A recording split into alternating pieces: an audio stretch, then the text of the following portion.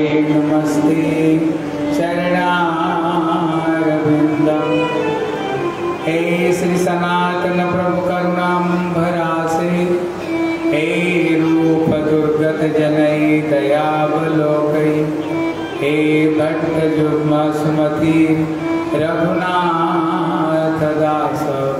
श्रीजीवमिकुरुत मन्दमति दयाङ्गवरा तमादिदेवं करुणानिदानं, तमालवर्णं श्रुतावतारम् अपार संसार समुद्र सेतुं भजामहे भागवतं स्वरूपम् जन्मप्रभजन्तमनुपेतमपेतकृतं द्वैपायनविरहका तर आजुभाव तन्मयतया तरवोऽभिनेदुं स्तं सर्वभूतहृदयं मुनिमानतस्मि। नारायणं नमस्कृत्य नरं चैव नरोत्तमं देवीं सरस्वतीं व्यासं ततो जयमुदिरेत् श्री कृष्ण चैतन्य प्रभु नित्यानंद श्री अद्वैत गदाधर श्रीवासादि गौर भक्त वृंद सबका हाथ बोलो। बोलो, हरे कृष्ण हरे कृष्ण कृष्ण कृष्ण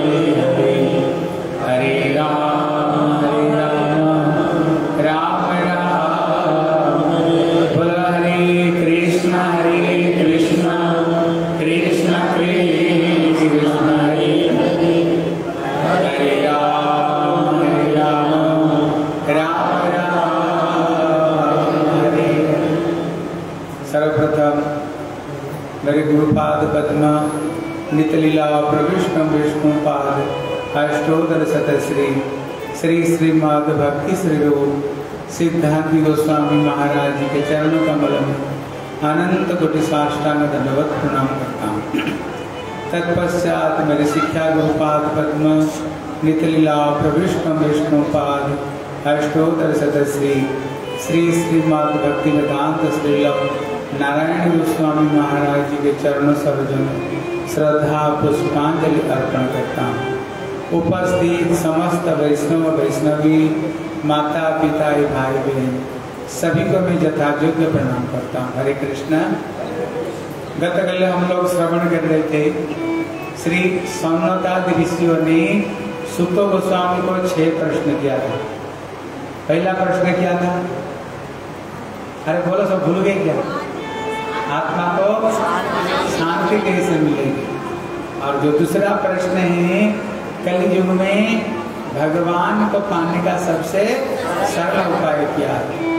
इसका उत्तर में से सुतो गोस्वामी कहते हैं, बोले निर्विद्यमानानाम् इच्छताम् अकूतभयम् योगिनां नृपनिर्मित हरे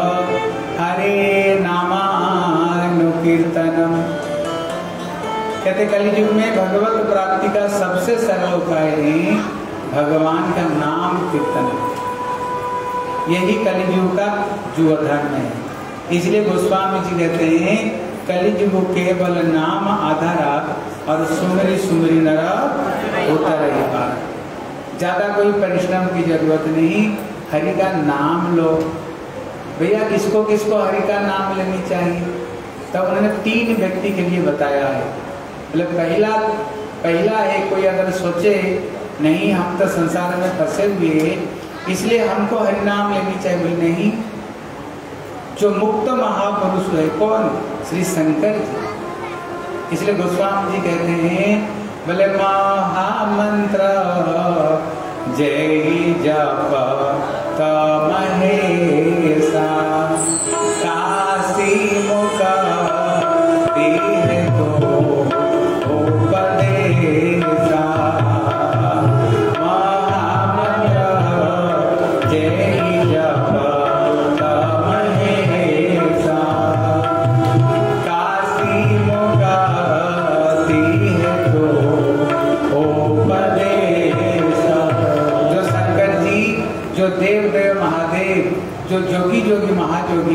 जो सत्यम शिवम सुंदर।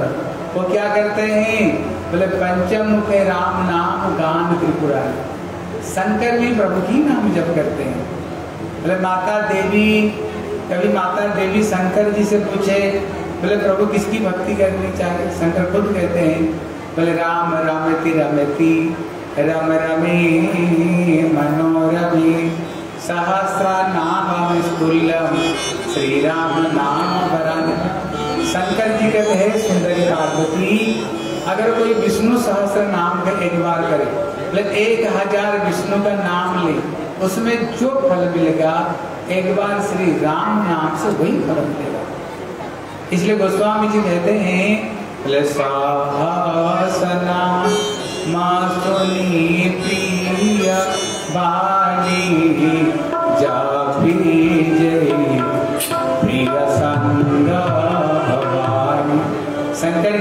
पार्वती को इतने क्यों प्रेम करते हैं?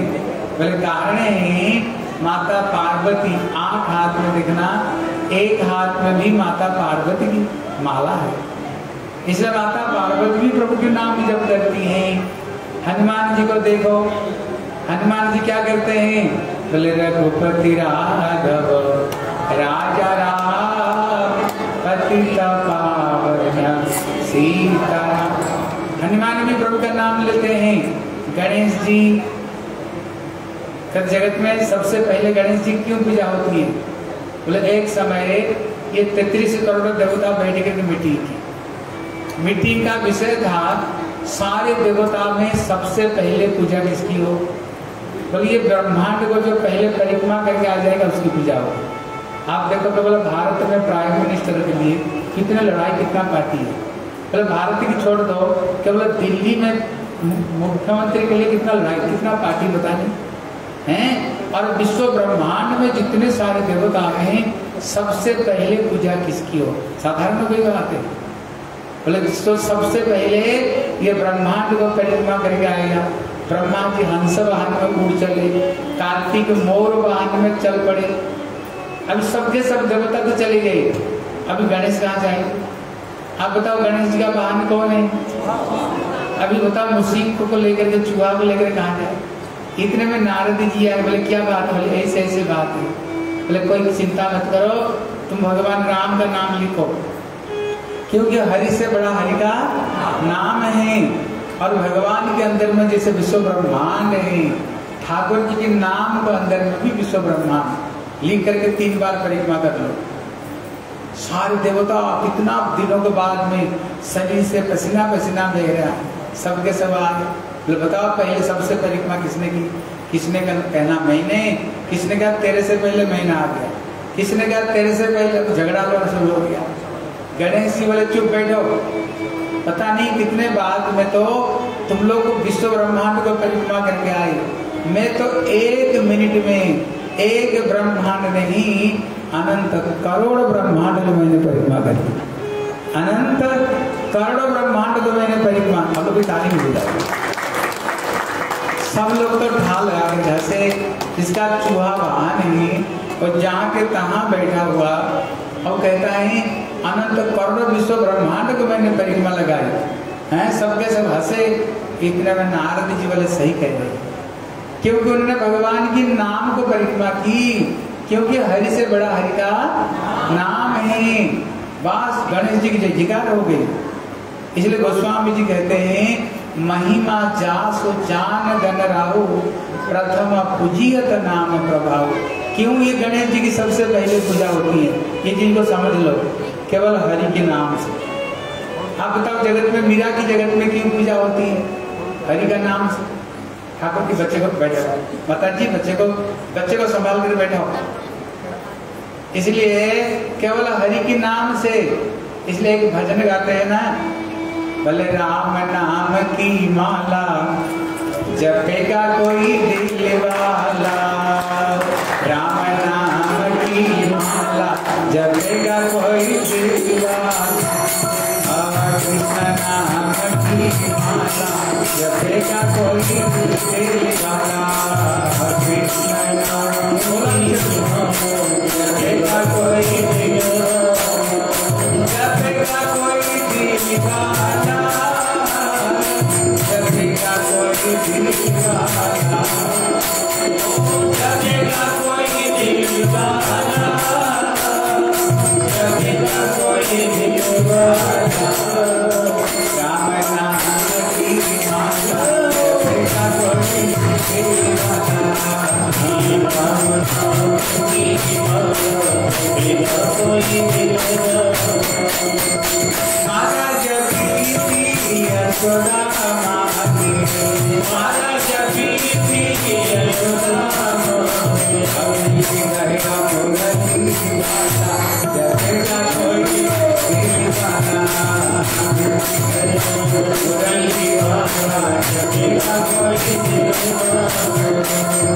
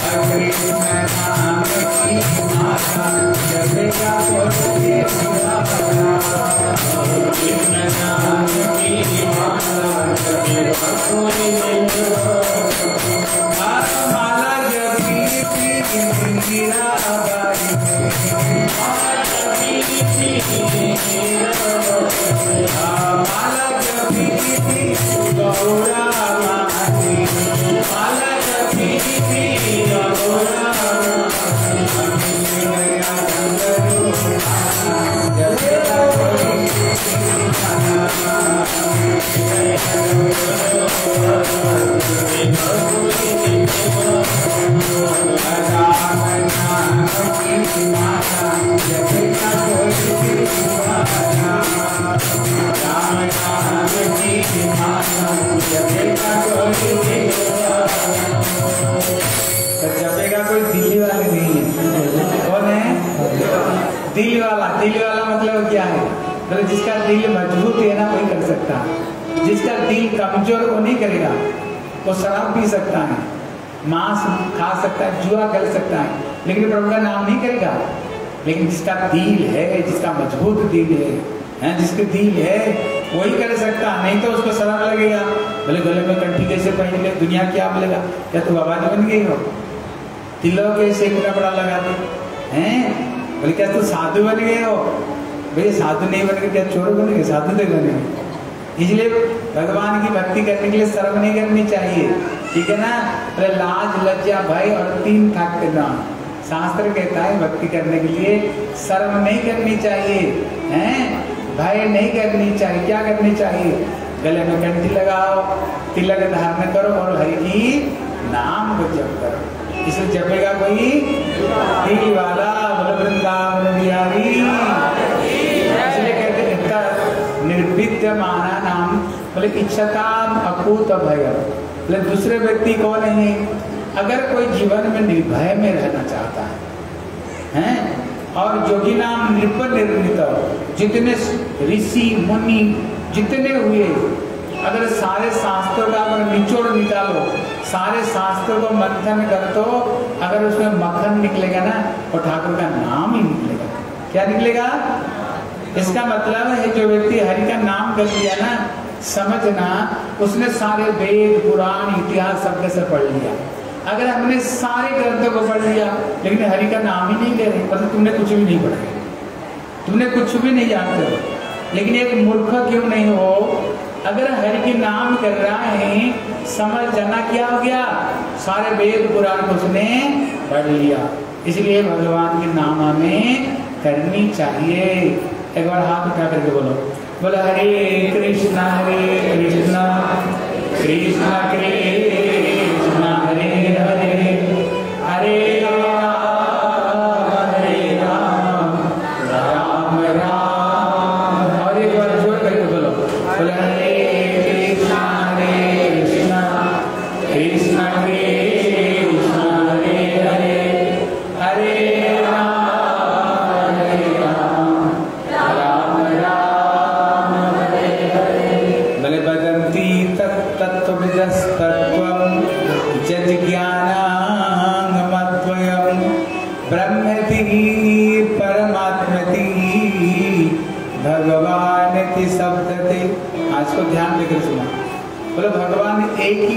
भगवान है, लेकिन उनको तीन प्रतीक, तीन व्यक्ति उनको तीन रूप में देखते हैं।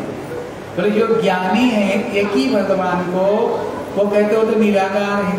उसका कोई आकार नहीं, वो निराकार है। लेकिन दूसरे एक योगी है।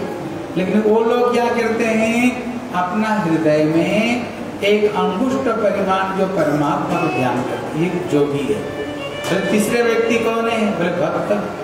बोले, वो क्या करते हैं? बोले, भगवान, जैसे जगन्नाथ जी है, बलदेव सुभद्रा है, जैसे राधा कृष्ण है, सीताराम है, लक्ष्मी नारायण है, वो लोग क्या करते हैं? भगवान का स्वरूप उपासना करते हैं अभी प्रश्न होता है कि क्या तीनों बराबर ना अलग है? देखो यही चीज़ को समझ लो अच्छा तरह से दिमाग में बैठा हो नहीं तो बोलोगे, भगवान निराकार निराकार है। नहीं ये चीज़ को समझो। एक उदाहरण देकर समझाए जैसे अभी आम का सीज़न है, कितना सुंदर सुंदर आम, दशहरी और कौन कौन सा आम आ रहा है? चौसा और लंगड़ा। बड़े सुंदर सुंदर आम है। एक राजा ने एक सेवक को बोले बोले, भैया, आपने सुने, बड़े सुंदर सुंदर आम आए देख कर क्या हो तो? वो गया बड़े सुंदर, देखा, दुकान में बड़े सुंदर, एकदम पीले पीले रंग के दशहरी आम बिक रहा था। वो देख करके वापस आ गया। बोले महाराज, बड़े सुंदर सचमुच से आम आया है। राजा ने दूसरे को भेजा, भाई, तू देख कर क्या? दूसरा व्यक्ति देखा, बड़े सुंदर आम है। और उसको स्पर्श किया तो देखा, मोला ही। सूंघा तो देखा, खुशबू है। वो भी वापस आएगा बोले, महाराज, हमने सूंघ करके देख कर क्या पका हुआ आम राजा तीसरा सेवक हो जा बोले, तू देख कर क्या इसने देखा, सूंघा, स्पर्श भी किया, बोले, पाँच किलो आम पाँच किलो आम लाए, ठंडा पानी में भिगवाया, उसको अमनिया करके, उसको जगन्नाथ जी को, ठाकुर को तुलसी पता से भोग लगाया। जब उसने आम खाया, देखा बड़ा स्वाद है। राजा ने पूछा, भैया, आम कैसे हैं? बोले, महाराज, बड़ा मीठा आम है। देखो, आम तीनों को मिला ये चीज़ को समझो। आम तीनों को मिला कि नहीं? अरे बोलो। तीनों को मिला है। लेकिन ये मिलने पर क्या बराबर मिला है? नहीं। ये चीज़ को समझो।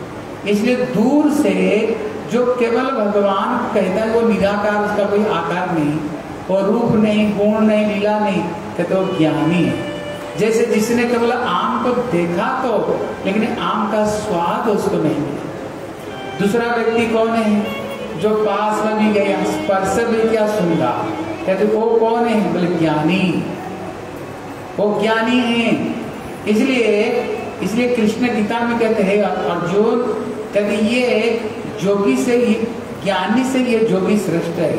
क्योंकि जो जोगी है, वो अपना हृदय में एक अंगुष्ट परिमाण, जो परमात्मा को चतुर्भुज रूप में ध्यान करता है। केवल अपना आत्मा नंद में रहता है, केवल ध्यान में रहता है। लेकिन कृष्ण कहते जो लास्ट में गया देखा भी, स्पर्श भी किया और लाया, और ठाकुर जी को भोग भी लगाया और उसने खाया। कहते, ये कौन है? बोले, भक्त है। कौन है? ये भक्त है। इसलिए कहते हैं ना, कोई क्या कहता है, ज्ञानी का भगवान? कोई नहीं कहता है, जोगी का भगवान। भगवान किसके हैं? भक्तों के भगवान है। बोले, श्री भक्त वत्सल भगवान की इसलिए कृष्ण गीता में कहते हैं, अर्जुन जोगी नाम अपनी सर्वेशा मत गतेनांतरात्मना कहते, हे अर्जुन, ये जितने सारे जोगियों को अंदर में भी, जो मेरे को प्रीति पूर्वक भजन करता है समी युक्त तमामता ये मेरी मत है, वो सर्वश्रेष्ठ है। वो सर्वश्रेष्ठ है। इसलिए भगवान के संपूर्ण शरीर को, जो स्वरूप को जो आस्वादन करने वाले, ये श्री भक्त हैं। कहते ऐसे जो भगवान कृष्ण हैं, ये क्या करते हैं? बोले, जदा जदा ही धर्म से ग्लानी भारत तदात्मान कृष्ण कहते हैं, अर्जुन, जब जब ये पृथ्वी के ऊपर में वो ब्राह्मण, स्त्री, वेद के ऊपर में अत्याचार होता है मैं ही युग युग में अवतीर्ण होकर के दुष्टों को विनाश और संतों को मैं पालन करता हूँ। इसलिए भागवत में भगवान की छब्बीस अवतार की कथा है। भगवान की जो सर्वप्रथम अवतार, भगवान की छह तरह का अवतार है।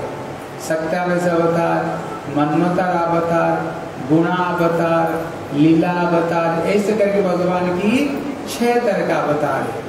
इसलिए भगवान की जो सर्वप्रथम अवतार कौन है? बोले, ये चतुसन है। ब्रह्मा की चार मानस पुत्र है। हैं? और ये क्या करते हैं? बोले, कृष्ण कथा मात्र के जीवन। हमारी भोजन किया है रोटी, चावल, सब्ज़ी। हैं? कहते, इनकी जीवन किया बोले, कृष्ण कथा जिनका जीवन है। इसलिए पुराण में या पद्म पुराण में, ये चतुसह नहीं, ये नारद जी को ये भागवत कथा श्रवण कराए। अगर कोई सुनने वाले हो, इनको सुनाना शुरू कर देते हैं। अगर कोई सुनने वाले नहीं हो तो ये चार भाई, एक भैया तो ब्याज गद्दी पर बैठेगा। तीनों बैठ जाएँगे। तीनों बैठ जाएँगे और फिर क्या करेंगे? भगवान की कथा बोलते रहेंगे इसलिए आप देखना जो चतुसन है, इनका उम्र कभी घटती नहीं, कभी बढ़ती नहीं है। हर समय पाँच साल के रहते हैं और सर्वत्र ये विचरण करते रहते हैं। ये भगवान की पहला अवतार बोले दूसरा अवतार क्या?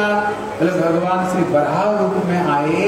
ये पृथ्वी जब रसातल में चली गई थी भगवान ने ये पृथ्वी को उन्होंने उद्धार किया है। बोले श्री बराह भगवान की। इसलिए यहाँ पर बताए कहते शाम को चार काम नहीं करनी चाहिए। बताओ कितना काम नहीं करनी चाहिए? क्या क्या बोलो हाँ सुन लो। पहला काम है, ठीक शाम का समय में नहीं सोनी चाहिए। जो व्यक्ति शाम का समय में सोएगा, उसको घर में कभी रुपया पैसा नहीं आएगा। वो जीवन भर दरिद्रता भोग करेगा। इसलिए कभी भी शाम का समय में नहीं सोनी चाहिए। घर से लक्ष्मी चली जाएगी। दूसरी चीज़ क्या करनी चाहिए? तो ठीक शाम का समय में भोजन नहीं करनी चाहिए। उसी समय में जो भोजन करेगा, वो कभी सुस्त नहीं रहेगा। उसका जो पेट का जो रोग ज़िंदगी भर लगा रहेगा उसको। कभी सुस्त नहीं रह सकता है। बोले, तीसरा काम क्या नहीं करनी चाहिए? बोले, उसी समय पढ़ाई नहीं करनी चाहिए। अगर उसी समय जो पढ़ेगा ना, वो बच्चों को कुछ चीज़ याद नहीं रहेगी वो सब कुछ भूल जाएगा इसलिए उसी समय में हम कहते हैं ना, घर में तो बच्चा पढ़ाई करता है ठीक ठाक लेकिन जब पेपर देने जाता है, इसे भूल जाता है। हाँ? पेपर देते समय से भूल जाता है। इसलिए उसको पढ़ने का समय को बदलाना चाहिए। उस समय गीता पढ़े, रामायण पढ़ो, कोई सदग्रंथ को पढ़ो, लेकिन जो पढ़ाई का विषय को नहीं करनी चाहिए। बोले, चौथा काम क्या नहीं करनी चाहिए? बोले, जो पति पत्नी सहवास नहीं करनी चाहिए, है? उस समय में सहवास नहीं करनी चाहिए। उससे क्या होगा? बोले, जो बच्चा होगा ना, राक्षस करके आएगा। इसलिए एक समय दीति ने कश्यप की दो पत्नी थी, दीति और अदिति। एक समय ठीक शाम का समय में ये दीति ने शीशा को सामने खड़ी होकर के बड़ी सुंदर श्रृंगार बड़ी सुंदर थी देखने में शीशा में अपना रूप को देख करके अपना काम वासना को सह नहीं सके। अपना पति कश्यप को पास में गए और उससे मिलने के लिए चाहा। कश्यप जी ने कहा, देखो दीदी ये जो समय है ना, ये शंकर जी ये भूत प्रेतों को लेकर घूमते हैं। इसलिए इसी समय में मत मिला कर, हैं? वो अच्छा समय नहीं। लेकिन वो इतने काम में आतुर हो गई थी, और ज़ोर ज़बरदस्ती पति से उसने ली थी। कश्यप जी ने कहा, तुमने अच्छा काम नहीं किया। तेरे पेट में दो राक्षस जन्म ले। दो, अब देख लेना कभी कभी घर में ऐसे बच्चा होता है, बड़े आज्ञाकारी। समय उठेगा पिता माता की चरण छुएगा, आदेश पालन करेगा। लेकिन कभी कभी ऐसे बच्चे होते हैं, बड़े उद्दंड है। एकदम बच्चे का बाप, पिता माता की बात नहीं सुनते। झगड़ा करते हैं, लड़ते हैं। कारण है, उसमें कुछ दोष है। पहला दोष तो पहला दोष है गर्भ संस्कार। गर्भ संस्कार का मतलब होता है, जैसे पेट में बच्चा है, उसी समय माँ जो कुछ काम करेगा, वो बच्चों के ऊपर कोई असर आएगा। उसी समय ठाकुर की कथा सुनोगे पेट में बच्चा है वो भी कथा सुनता है। जैसे प्रहलाद महाराज हुए, इतने बड़े ज्ञानी कैसे हुए? बच्चों ने पूछे, प्रहलाद, तू इतने बड़े ज्ञानी कैसे हो गए? बोले, जिस समय मैं माँ के पेट में था और नारद जी के आश्रम पर नारद लेकर के कथा सुनाया मेरे माँ को, मैं पेट में बैठी बैठ कर सारी कथा को सुना। इसलिए मैं इतने ज्ञानी बना। अगर पेट में बच्चे हैं गीता रामायण पढ़ो देखना वो बच्चा बड़ा संस्कारी बन कर गाएगा लेकिन अगर डिस्को डांस उल्टा पुल्टा गंदी गंदी फ़िल्म देखोगे लड़क लड़ोगे, झगड़ोगे, जो कुछ माँ करती है, सारे बच्चे के ऊपर में, सारे बच्चे के ऊपर असर आती है। सारी चीज़ एक एक करके इसलिए जिस समय बच्चे रहो ना, रामायण देखे हो कौन कौन रामायण देखे? आप देख लेना, जब पेट में लपकुश थी सीता जी की बड़े बड़े संत लोग आए अयोध्या में भगवान राम बोले, देखो सीते, क्या सुंदर सुजग है। अभी तुम गर्भवती हो। बड़े बड़े संत लोग आए हैं। चलो, हम सत्संग सुनते हैं। इसी समय में तुम जो जो काम करोगे सीते, वो सारे असर तुम्हारे बच्चे को भूल पड़ेगा। और बोले, सत्संग सुने तो कौन जन्म हुए लव और कुश जन्म हुए आप लोग देखे होंगे कितने बलवान बने सब, लव कुश। बोले वृंदावन बिहारी लाल की इसलिए कहते हिरण्याक्ष और हिरण्य का सब जन्म हुए। दो बच्चे, दीप्ति के। लेकिन अभी दीप्ति तो गड़बड़ी कर ली, लेकिन उसने माफ़ी भी मांगी। बोले, मैं काम वासना में आतुर हो गई थी, माफ़ कर दो। तब श्री कश्यप जी ने कहा, देखो, तुमने तो गलत काम की है, लेकिन चूँकि तुमने माफ़ी भी मांगी हो, इसलिए मैं आशीर्वाद देता हूँ तुम्हारी बेटे तो बनेंगे राक्षस, लेकिन तुम्हारा जो पोता है ना, वो भक्त बनेगा बोले, कौन बनेगा? हिरण्य कश्यप का बेटा श्री प्रहलाद बन करके आए। जिस प्रहलाद इतने बड़े कृष्ण भक्त बने, इतने बड़े भक्त बने, हम कहते हैं कण कण में भगवान की निवास है। उसके इच्छा के बगैर एक पता भी नहीं हिलता हम तो कहते हैं। लेकिन ये चीज़ को प्रमाण रूप में कौन दिखाया? प्रहलाद ने दिखा दिया। खंबे से उन्होंने ठाकुर जी को, खंबे से उन्होंने भगवान नरसिंह देव को प्रकट कर दिया। बोले, भगवान नरसिंह देव की इसलिए कहती है, भगवान की दूसरा अवतार है। बोले, भगवान के तीसरा अवतार कौन है? बोले, श्री नारद जी। आप सब नारद जी का नाम जानते हो, लेकिन जगत में नारद जी की बड़े बदनामी है। हम कहते हैं ना तो क्या नारद जी का काम कर रहे मतलब लड़ाई लगा रहे बोलते हैं ना? लेकिन ऐसे नहीं। नारद का मतलब क्या है? नार मतलब होता है आसक्ति। का मतलब होता है वो आसक्ति को जो नष्ट करने वाले। नार मतलब होता है रस। दा मतलब सबको जो रस देते हैं। नार मतलब होता है ज्ञान। दुनिया को जो ज्ञान प्रदान करते कौन श्री नारद जी। जिसको ऊपर नारद जी की कृपा होगी ना, उसको कल्याण हो गया। उसको समझो कल्याण हो गया है। इसलिए उनकी दो बच्चे शिष्य हुए, कौन? एक ध्रुव हुए, एक प्रहलाद। भागवत में कथा सुनेंगे। ध्रुव महाराज जी ने छह महीना भगवान की तपस्या करते हुए भगवत प्राप्त की। और जो भगवान को पाने के लिए गोस्वामी जी कहते हैं बोले जनमा जनमा मोनी जाता, ना कराए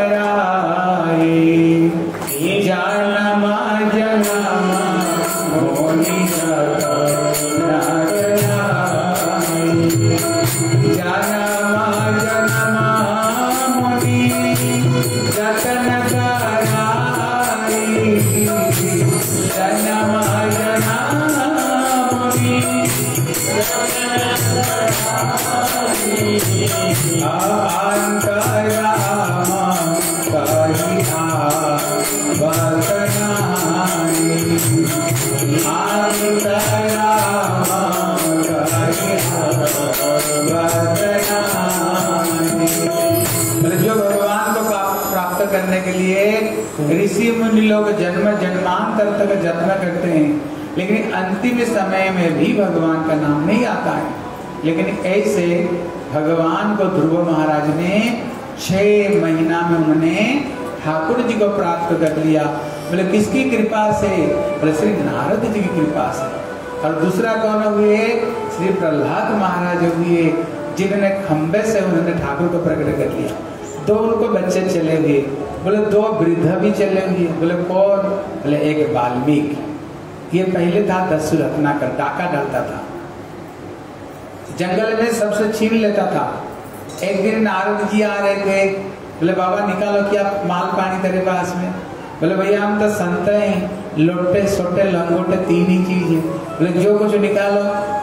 बोले, नारद जी, बोले, ये तुम बता तुझे ये डाका डाल करके पैसा इनकम करते हो, उसको कौन लेगा? बोले, मेरे बीवी, मेरे बच्चे, मेरे परिवार। बोले, देख, ध्यान देकर सुन। ये सबके सब तेरे सुख में मदद कर रहे हैं। जब दुख आएगा ना, ये कोई भी तेरे काम में आने वाले नहीं। जा, पूछ कर क्या? पूछ कर क्या? बोले, मैं पूछने जाऊँगा तो तू भाग जाओगे।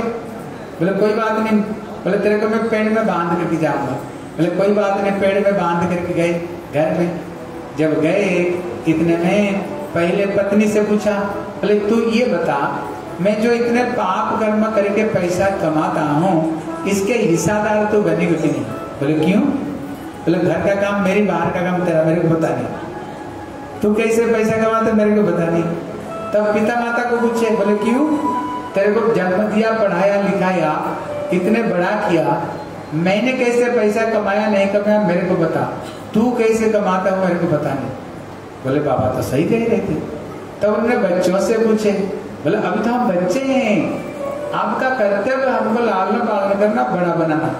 बड़े बन करके पैसे हम पैसा कमाएँगे, फिर हम सोचेंगे। हम कोई भी तुम्हारी पाप लेने के लिए नहीं, तैयार नहीं। बोले, बाबा तो सही बता रहे थे। फिर उन्होंने वापस आए। बोले, बाबा, आप तो सही बता रहे थे। मैं तो सोच रहा था ये सबके सब मेरे को मदद करने वाले, लेकिन ये सबके सब बड़े स्वार्थी निकले। हैं? सबके सब समझ रहे कि नहीं? इसलिए जब पैसा कमाओ ना, सोच विचार करके पैसा कमाओ। ठीक है ना? उसको सोच विचार करके पैसा कमाओ। धर्म पूर्वक हमें पैसा कमानी चाहिए। ठीक है? कभी कभी सोचते हैं, नहीं, बच्चों के लिए उल्टा पुल्टा काम करके पैसा कमा करके जाओ। हमारे बड़े गुरु जी कहते थे, बोले, नहीं, मना करते बच्चे के लिए ज़्यादा पैसा कमा करके मत जाओ। बोले, क्यों? बोले, बच्चा हो नहार होगा ना, वो कमा ही लेगा। वो हो ना होगा तो कमा ही लेगा।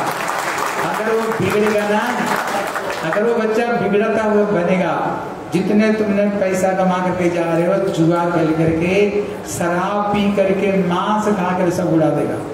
आप बताओ, किसके बच्चे ज़्यादा बिगड़ते हैं? जिसका पिता माता ने जितना पैसा बच्चे के लिए कमा करके रखा, देखना वही बच्चा उतना बिगड़ता हुआ मिलता है। अब देख लेना, उतना ही वो बिगड़ता हुआ मिलता है बच्चा।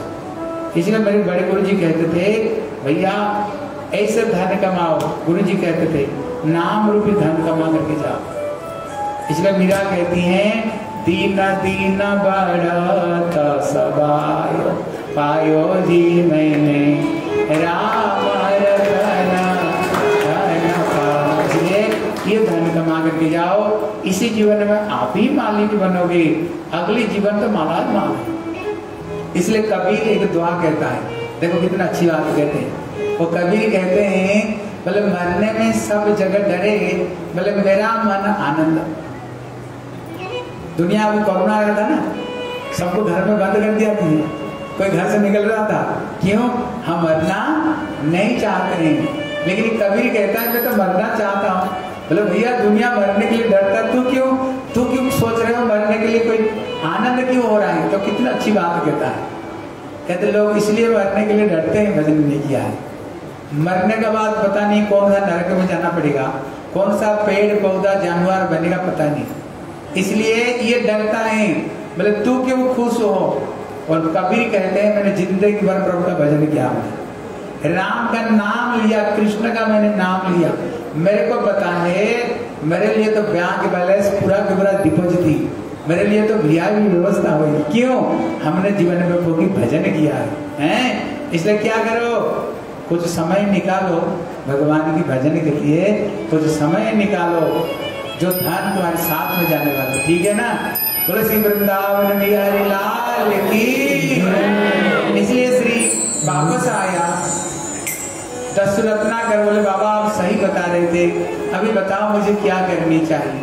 बोले, बेटा, ये पाप कर्म छोड़ो और हरि का नाम लो, भगवान का नाम लो। तब उन्होंने बोले, बोलो राम, बोलो। ज़ोर से बोलो बोलो। बोलो। लेकिन उसको मुँह से राम का नाम ही नहीं निकला। क्यों? कि जो पापी है ना, उनके मुँह से ठाकुर का नाम नहीं निकलता है।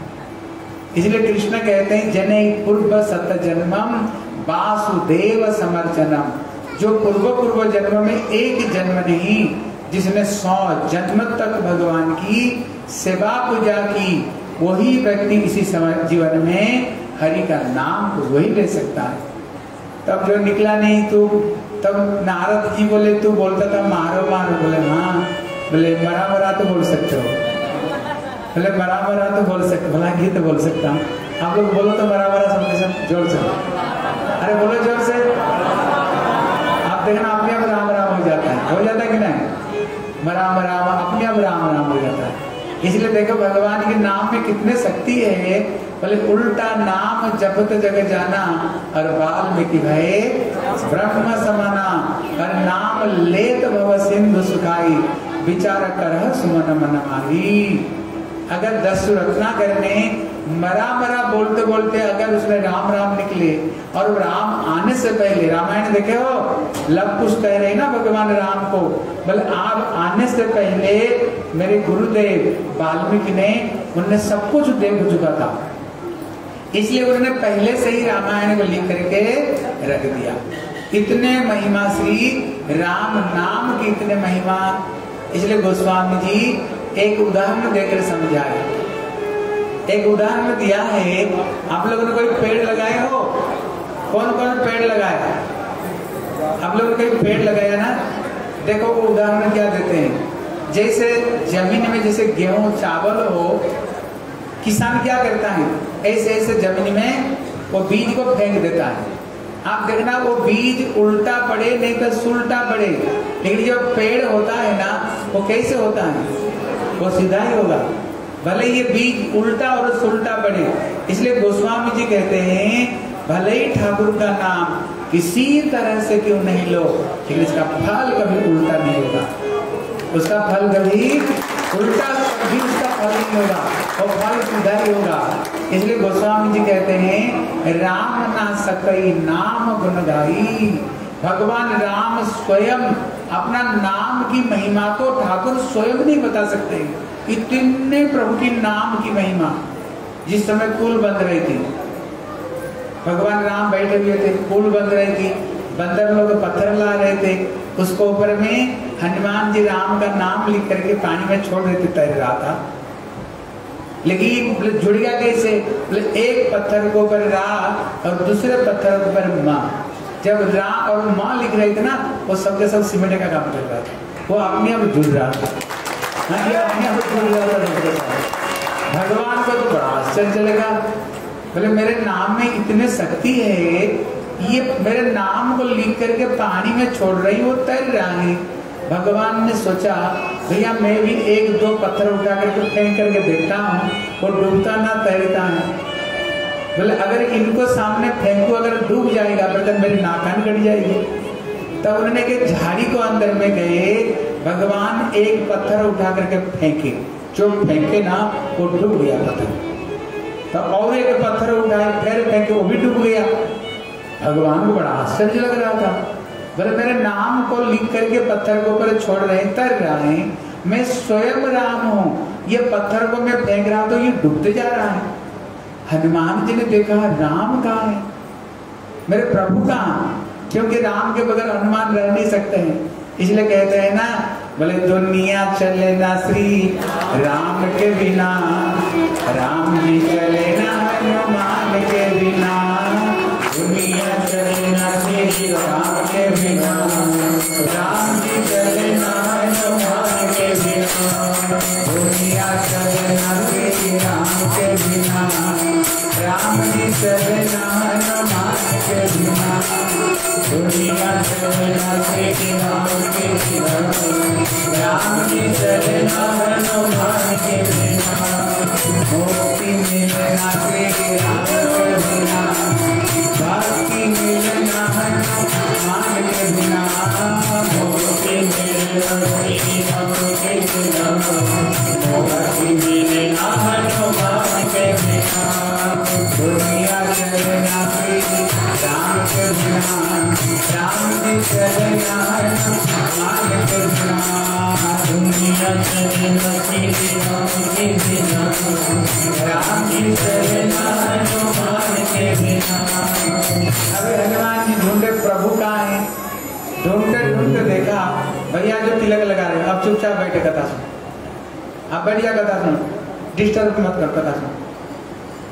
इसलिए अभी हनुमान जी ढूंढ ढूंढे प्रभु कहाँ गए? ढूंढते ढूंढते उन्होंने देखा प्रभु झाड़ी को अंदर में बैठे। और जैसे बच्चे पत्थर उठा करके पानी में फेंक फेंकते हैं, ठाकुर भी पत्थर उठा उठा करके पानी में फेंक रहे थे। इतने में हनुमान जी सोचे, प्रभु बच्चे जैसे पत्थर उठा करके पानी में क्यों फेंकते हैं? इतने में हनुमान जी वहाँ प्रकट हो गए। लेकिन राम क्या सोच रहे तो कोई देख नहीं रहा था। मैं छुप छुप कर कर रहा हूँ। इतने में हनुमान जी प्रकट हो गए। बोले, प्रभु, बच्चे जैसे आप पत्थर में पानी में क्यों फेंक रहे हो? बोले तू कहाँ से आ गया? बोले, आपके बगैर तो मैं रह नहीं सकता। बोले, प्रभु, ये बताओ क्यों फेंक रहे थे? बोले, हनुमान जी, मेरे मन में एक शंका आ गई। बोले, आपकी मन में? बोले हाँ। बोले, किस चीज़ की? बोले, तुम लोग मेरे नाम को लिख करके पत्थर के ऊपर छोड़ रहे हो। वो पत्थर तैर रहा है। मैं स्वयं राम हूँ। लेकिन ये पत्थर को मैं जब फेंकता हूँ, ये डूब क्यों जाता है? बोले, प्रभु, ये सीधी सी बात। बोले, सीधी सी बात? मेरे समझ में नहीं आ रहा है। बोले, प्रभु, वो पत्थर क्यों तैर रहा है? चूँकि उसको ऊपर में आपका नाम का नाम लिखा हुआ, वो नाम की सहारा लिया हुआ है। जो व्यक्ति तेरे नाम का सहारा लेगा, वो कभी डूब सकता है? कभी डूब नहीं सकता है? बोले, फिर वो जो मैं फेंकता हूँ, वो डूबता क्यों? बोले, प्रभु, दुनिया का मालिक तो तुम हो ना? अगर आपने किसी चीज़ को उठाया फेंक दिया। फेंकना मतलब क्या? आप उसको छोड़ दिया, आप उसको त्याग दे दिया। बताओ, दुनिया का मालिक अगर जिसको त्याग देगा? वो कभी तैर सकता है? जाएगा। बोले रामचंद्र की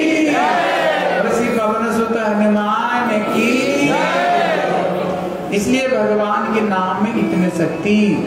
इसलिए कहते भगवान, क्या जो तीसरा जो अवतार हुआ है, कहते श्री नारद जी के रूप में भगवान जगत में, नारद जी रूप में आए और उनको दो वृद्ध चले हुए, एक वाल्मीकि, जिसने हमारी हिंदू शास्त्र, सनातन धर्म का जो सर्वश्रेष्ठ ग्रंथ है उन्होंने श्री रामायण को लिखे और दूसरा ग्रंथ, उनका दूसरा शिष्य हुए श्री व्यास देव उन्होंने कौन सा ग्रंथ लिखे? भागवत ग्रंथ लिखे। आज जो ग्रंथ को हम श्रवण कर रहे हैं, इसलिए नारद जी के बगैर ठाकुर का कोई लीला हुई नहीं। उनका जो एक एक चेहरे बड़े धुरंधर चले हुए हैं? भगवान की जो चौथा अवतार है बल्कि नर नारायण ऋषि रूप में। कहते नर नारायण कहाँ पर है? कहते, ये बद्रीनाथ गए आप लोग कौन कौन बद्रीनाथ गए? दो तीन गए। आप बताओ बद्रीनाथ कौन जाना चाहता है, बोलो, सबको ले जाए आप सबके द्वारा हम बद्रीनाथ ले जाएँगे। देखो, ये बद्रीनाथ क्यों जाते हैं? बद्रीनाथ की क्या महिमा है? कारण क्या है? बोले, एक समय श्री नारद जी घर घर में गए। सबसे पूछे ठीक ठाक हो? लेकिन इस ऊपर से सबके सब मुंडी लाए ठीक ठाक लेकिन जब अंदर की बात पूछे ना, देखा कोई भी जगत में ठीक नहीं? कोई राइट नहीं, सब रंग हैं। कोई तन से दुखी कोई मन से दुखी कोई धन से दुखी कोई बीवी से दुखी कोई पति से दुखी कोई बेटा से दुखी कोई बहू से दुखी कोई ननद से दुखी कोई सास से दुखी कोई पैसा से दुखी कोई है कि नहीं सबके सब ये दुनिया में सब दुखी है सबके सब देखा कोई भी सुखी नहीं एक दिन नारद जी वैकुंठ में पहुँचे जब वैकुंठ में पहुँचे देखा भगवान अनंत नाग पर सहने किए हुए माँ लक्ष्मी भगवान की चरण की सेवा कर रही थी। और सारे देवता लोग शांतागारम भुजग शयनम भगवान को स्तुति कर रहे और भगवान मुस्कुरा रहे नारद जी बोले, प्रभु, आपने ये दुनिया को आपने बनाया। और सारा दुनिया में मैं घर घर में जाकर के देखा, सब दुखी। आप तो यहाँ आनंद ले रहे हो। आप मुस्कुरा रहे हो, लक्ष्मी को लेकर के आनंद नाम बरसाने के हुए। और दुनिया, है, दुखी और यहाँ पर आनंद ले रहे हो। बोले, प्रभु जगत में बड़े व्यक्ति जो करता है ना, छोटे व्यक्ति उसको देख करके सीखता है। पिता माता जैसे करे, बच्चे उसको देख करके सीखता है। आप दुनिया का मालिक था आप भी होना बोले हाँ। बोले, आप जो करोगे दुनिया तो वही सीखेगा। बोले, नारद जी टेढ़ी मेढ़ी क्यों बात करते तो सीधा सीधा बोले ना, क्या बताना चाहते हो? बोले, प्रभु, मैंने मरते जगत में गया था। हर घर घर में जाकर देखा, सब दुखी दुखी कोई भी सुखी नहीं। लेकिन आप तो आनंद ले रहे हो, आप जो करेगा दुनिया वही करेगा। बोले, मैं क्या कर रहा हूँ? बोले, दिन भर आप अपना लक्ष्मी को लेकर पड़े हो। दुनिया बोलेगा जब नारायण अपना लक्ष्मी को लेकर पड़े हुए, हम भी अपना लक्ष्मी को लेकर दिन भर, हम भी पढ़ रहे बोले, बताओ क्या करनी चाहिए? बोले, प्रभु, हरि विमुख कभी सुख नहीं पावा। भगवान से विमुख होकर के रावण जैसे व्यक्ति कभी सुखी नहीं। इसलिए पद्म पुराण में बताए बोले न चंद्र से सुखम नास्ती, न सुखम चक्रवर्ती न सुखम मस्ती। बोले, सुख है, बोले, कौन? बोले, मुने एकांत जीविना। बोले, प्रभु जी, स्वर्ग का इंद्र भी सुखी नहीं। आप लोग स्वर्ग जाएँगे स्वर्ग जाएँगे। भागवत में कितना बार कथा आती है, कभी कहीं इंद्र को स्वर बनना पड़ा, कभी सारा शरीर में जोनी हो गई जाकर किस कभी उसने जाकर कितना हज़ार साल तक जाकर छुप करके बैठा कमल नारद थोड़ी सी कोई भजन करना शुरू करना, पहले उसने आसन डगमगाने लगता है, डर डर जाता है। हो ना हो, मेरे पद को नहीं ले जाए। बोले, नचेंद्र सुखम नस्ती। जब स्वर्ग का इंद्र ही सुखी नहीं तो स्वर्ग का बासिंदा क्या सुखी? बोले, न सुखम चक्रवर्ती ना। अगर कोई सोचे, ये चक्रवर्ती बन जाओ, राजा बन जाओ, सुखी मिलेगा। बोले, नहीं भैया अब तो महात्मा गांधी कैसे बोले बोले गोली खा करके, इंदिरा गांधी कैसे बोले बोले गोली खा करके, राजीव गांधी कैसे बोला वो भी गोली खा करके, हैं? हाँ? हाँ इसलिए इसलिए ज़िंदगी भर सोनिया भी सीट में नहीं बैठी। क्यों? भैया, मेरे को भी गोली नहीं मारते। हैं? इसलिए भैया कहते, ना सुखम चक्रवर्ती, ना चक्रवर्ती राजा बन करके भी सुखी नहीं है। भैया, सुखी कौन है? कहते, मोने हैं एकांत जीविना जो ठाकुर की शरण में गए हैं, जो ठाकुर जी की शरण में गए हैं, केवल वही व्यक्ति जगत में वही व्यक्ति ही सुखी है। इसलिए प्रभु, बोले, प्रभु, एक काम करो। बोले, बताओ क्या करे? बोले, जब आप भक्ति करोगे ना, भजन करोगे, फिर दुनिया आपसे सीखेगा। बोले, ठीक है नारद जी, मैं जा रहा हूँ, मैं भी तपस्या करता हूँ। कोई बढ़िया जगह होनी चाहिए? ठाकुर जी घूमते घूमते बद्री का आश्रम पर गए। आप लोगों जो बद्रीनाथ गए, पता होगा, बड़े सुंदर पर्वत है। नर नारायण पर्वत है। अलका नदी कलकलनाथ से बह रही है। तप्त कुंड है, सुगंधी शिला है। क्या सुंदर मनोरम स्थान है। जब ठाकुर जी भ्रमण करते करते बद्रीनाथ में पहुँचे, बड़ा सुंदर स्थान देखा। ठाकुर जी बोले, बहुत बढ़िया जगह। ये भजन करने का। लेकिन पहले शंकर जी वहाँ पर रहते थे। वो शंकर जी का स्थान था। भगवान ने देखा शंकर जी सहज में सहज में स्थान को नहीं छोड़ेंगे। मेरे को कुछ करना पड़ेगा। वहाँ पर तप्त कुंड है। रोज शंकर पार्वती स्नान करने आते थे। इतने में ठाकुर जी एकदम छोटा बच्चा बन कर गए बर्फ़ के ऊपर में पड़ करके रोना शुरू कर दिया। शंकर जी देख कर समझ गई, बच्चा कहाँ से आया। ज़रूर दाल कुछ काला है। लेकिन पीछे पीछे माँ पार्वती आ रही थी। बोले, माता का हृदय तो बड़ा कोमल है। अभी छोटे बच्चे को देख करके माता जी ने भगवान को गोद में ले लिया। शंकर जी से पूछे, आप कहेंगे छोटा बच्चा दिखा नहीं बोले, पार्वती? कहता, दाल में कुछ काली है। कि बच्चा कहाँ से आएगा? बड़ी सुंदर ठाकुर जी स्वयं बच्चे बने। पार्वती बोली, छोटा बच्चा बर्फ़ रो रहा है, आप दाल में काली है। मैं इसको घर में सुला करके आती हूँ। वो लेकर गए, घर में सुला करके आए दोनों। जब स्नान करके गए ना तो ठाकुर नारायण थे। जब घर में सुलाया, अंदर से कुंडी बंद कर जब शंकर पार्वती आए, दरवाज़ा खटखटाए, ठाकुर दरवाज़ा नहीं खोले। बोले, पार्वती देख लिया, पहले मैं तुमको सावधान कर रहा था, सुनी नहीं, हमारा घर ही दखल कर लिया। शंकर जी ध्यान लगाया, कौन है? देखा, मेरे प्रभु नारायण है। तो ठाकुर जी, रहना, आप तो यहीं रहो, और हम दोनों केदारनाथ जा रहे हम दोनों केदारनाथ जा रहे हैं। तो उन दोनों केदारनाथ चले गए और वहाँ पर नर नारायण ऋषि बन करके ठाकुर जी तपस्या कर रहे हैं और भगवान का वरदान है। अगर कोई कष्ट करके एक बार बद्रीनाथ में आए और मुझे केवल दर्शन कर ले, मैं जो तपस्या कर रहा हूँ, मुझे दर्शन मात्र से ही तपस्या का छठवा भाग का फल अपने आप उसको प्राप्त हो जाएगा। अपने आप उसको प्राप्त हो जाएगी इतने महिमा दर्शन करने की बद्रीनाथ। इसलिए हमारी भारतीय संस्कृति है, जो केदारनाथ, बद्रीनाथ, गंगोत्री, जमुनोत्री, एक बार जो दर्शन करे ना, फिर जगत में दो बार उसको जन्म नहीं होता। दो बार जन्म नहीं होता। पहले तो इतनी कठिनाई थी, आप बड़े बूढ़ों को पूछ करके देखो, जब कोई केदारनाथ, बद्रीनाथ जाते थे ना, घर में बोल करके जाते थे, शायद अब हम वापस नहीं आएँगे। हमारे नाम पर तुम श्राद्ध कर लेना। क्योंकि इतने बिहार रास्ता था, पेड़ को पकड़ पकड़ करके जाते थे। लेकिन अभी तो इतना बढ़िया रास्ता हो गया, गाड़ी में जाओ, अभी सब पिकनिक करने जाते हैं। इतने सुंदर स्थान है। दस दिन में ये चार धाम को घूम घाम कर घर में वापस आ जाओगे।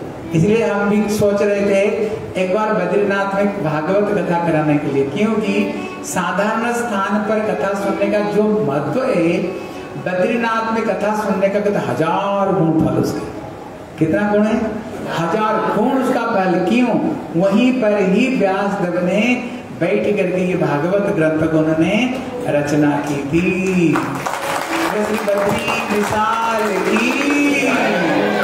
हाँ इसलिए भगवान की ये चौथा अवतार।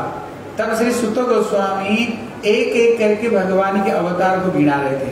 गिनाते गिनाते बोले, देखो जो कृष्ण है ना, ये भी एक अवतार है। इतना बोल करके सुतो गोस्वामी तो डर गए। बोले, क्यों डर गए? बोले, मैंने तो गलती कर दी। जो कृष्ण है ना, ये अवतार नहीं है। ये जो जगन्नाथ है ना, ये अवतार नहीं है। कृष्ण ही तो जगन्नाथ है। ये अवतार नहीं, बोले, ये कौन है? बोले, ये अवतारी। बोले, अवतारी का मतलब क्या होता है? बोले, जिनसे ये सारे अवतार प्रकट हुए हैं। सारे अवतार जिनसे प्रकट हुए हैं। इसलिए कृष्ण गीता में कहते ना जदा जदा ही धर्मस्य ग्लानि भवति भारत अद्भुतान धर्मस्य तथात्मान सृजाम्यम हे अर्जुन, मैं ही जुग जुग में कभी मत्स्य अवतार रूप में वेद उद्धार करते हैं। कुर्म अवतार रूप में मंदार जल पर्वत उद्धार धारण किया।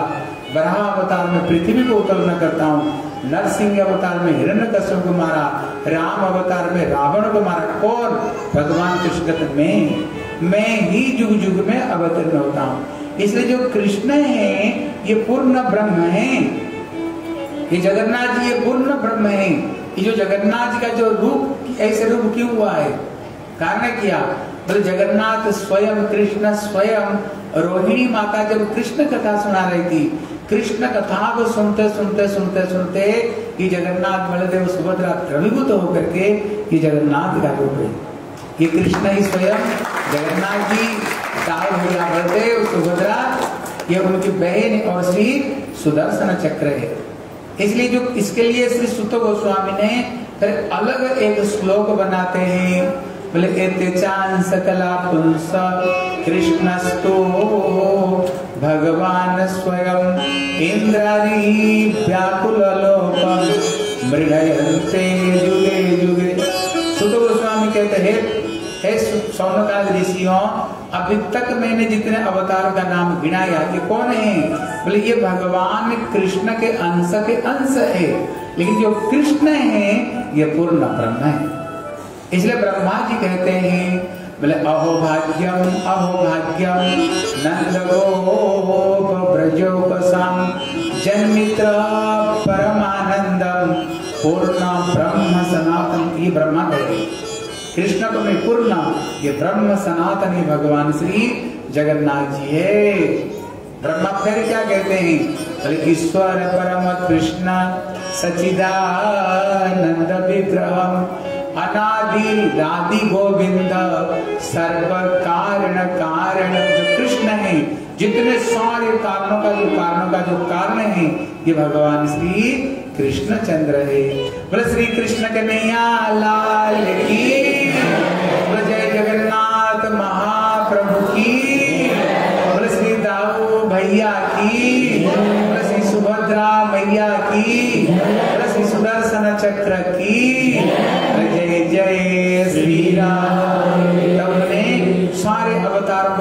करते हुए तब वो कहते हैं, बोले, इतने में श्री सौनक आदि ऋषि लोग सुतो गोस्वामी को प्रश्न करते हैं। उनका प्रश्न है, जैसे यहाँ भागवत कथा हो रही है।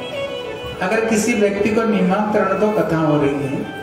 इसकी कोई छोटी मोटी कोई काम होगा, एक दुकान होगा छोटी मोटी काम होगा। देखना आपको, निमंत्रण दो, कथा सुनने आओ। बोलेंगे, हमारे पास में समय नहीं।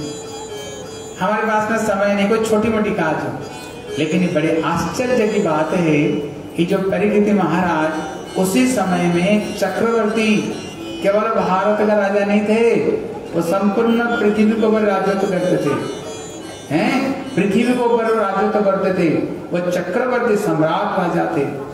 लेकिन इन्होंने सब कुछ छोड़ करके ये सात सात दिन तक कथा सुनी। बड़े आश्चर्य की बात है। और श्री सुखदेव गोस्वामी मातृगर्भ में तो सोलह साल तक थे वो निकलना नहीं चाह रहे थे। और निकलते ही ब्रह्म ज्ञानी बनकर चले गए। वो रमते जोगी भेजते बानी एक जगह पर उतना समय तक वो टिकते थे, जितना समय में कि गैया की दोहन करने में जितने समय लगे। उससे ज़्यादा समय कहीं भी नहीं टिके। और 16 साल तक तो मुँह से बाणी नहीं निकली। लेकिन जब उन्होंने एक बार मुँह खोले, कृष्ण कथा की इतने महत्व है, एक बार मुँह खोले तो सात दिन तक मुँह ही बंद नहीं। मुँह ही बंद नहीं किए। कभी बड़ा आश्चर्य लगता है। इसलिए आप कृपा करके बताओ, ये सुखदेव गोस्वामी कथा क्यों सुनाए? ये परीक्षित महाराज कथा क्यों सुने? मैंने जो पूछा और नहीं पूछा, आप कृपा करके सौरे हमें बात बताओ। जब पूछे, ये प्रश्न सुन करके सुत गोस्वामी बड़े प्रसन्न हुए और बड़े सुंदर उन्होंने उत्तर दिया। इसलिए एक भजन सुन लो, फिर आगे की कथा सुन बढ़िया बढ़िया बढ़िया भजन सुना दो।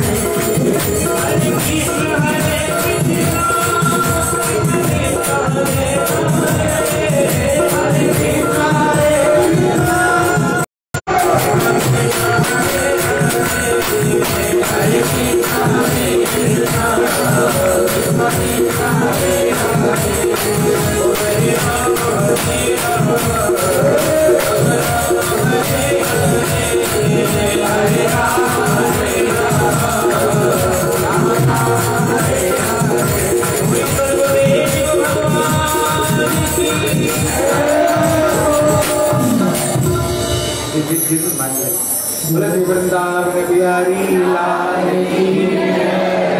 जय श्री हरे कृष्ण। हमारे बीच में, हमारी सौभाग्य से श्री जीत प्रभु जी आए हैं। हमारे जो नायडा मठ में ये इंचार्ज है। इसलिए आपको भागवत की कथा को बारे में कुछ प्रकाश डालेंगे कुछ अच्छी अच्छी बात सुनाएँगे हमें। कैसे हम आगे प्रभु की भक्ति में बढ़ सकते श्री प्रभु ॐ ज्ञानतिमिरान्धस्य ज्ञानञ्जनशलाकया चक्षुरुन्मिलितं येन तस्मै श्रीगुरुवे नमः। कृपा एव च पतितानां पावनेभ्यो, वैष्णवेभ्यो नमः जय श्री चैतन्य प्रभु नित्यानंद श्री अद्वैत गदाधर बोलो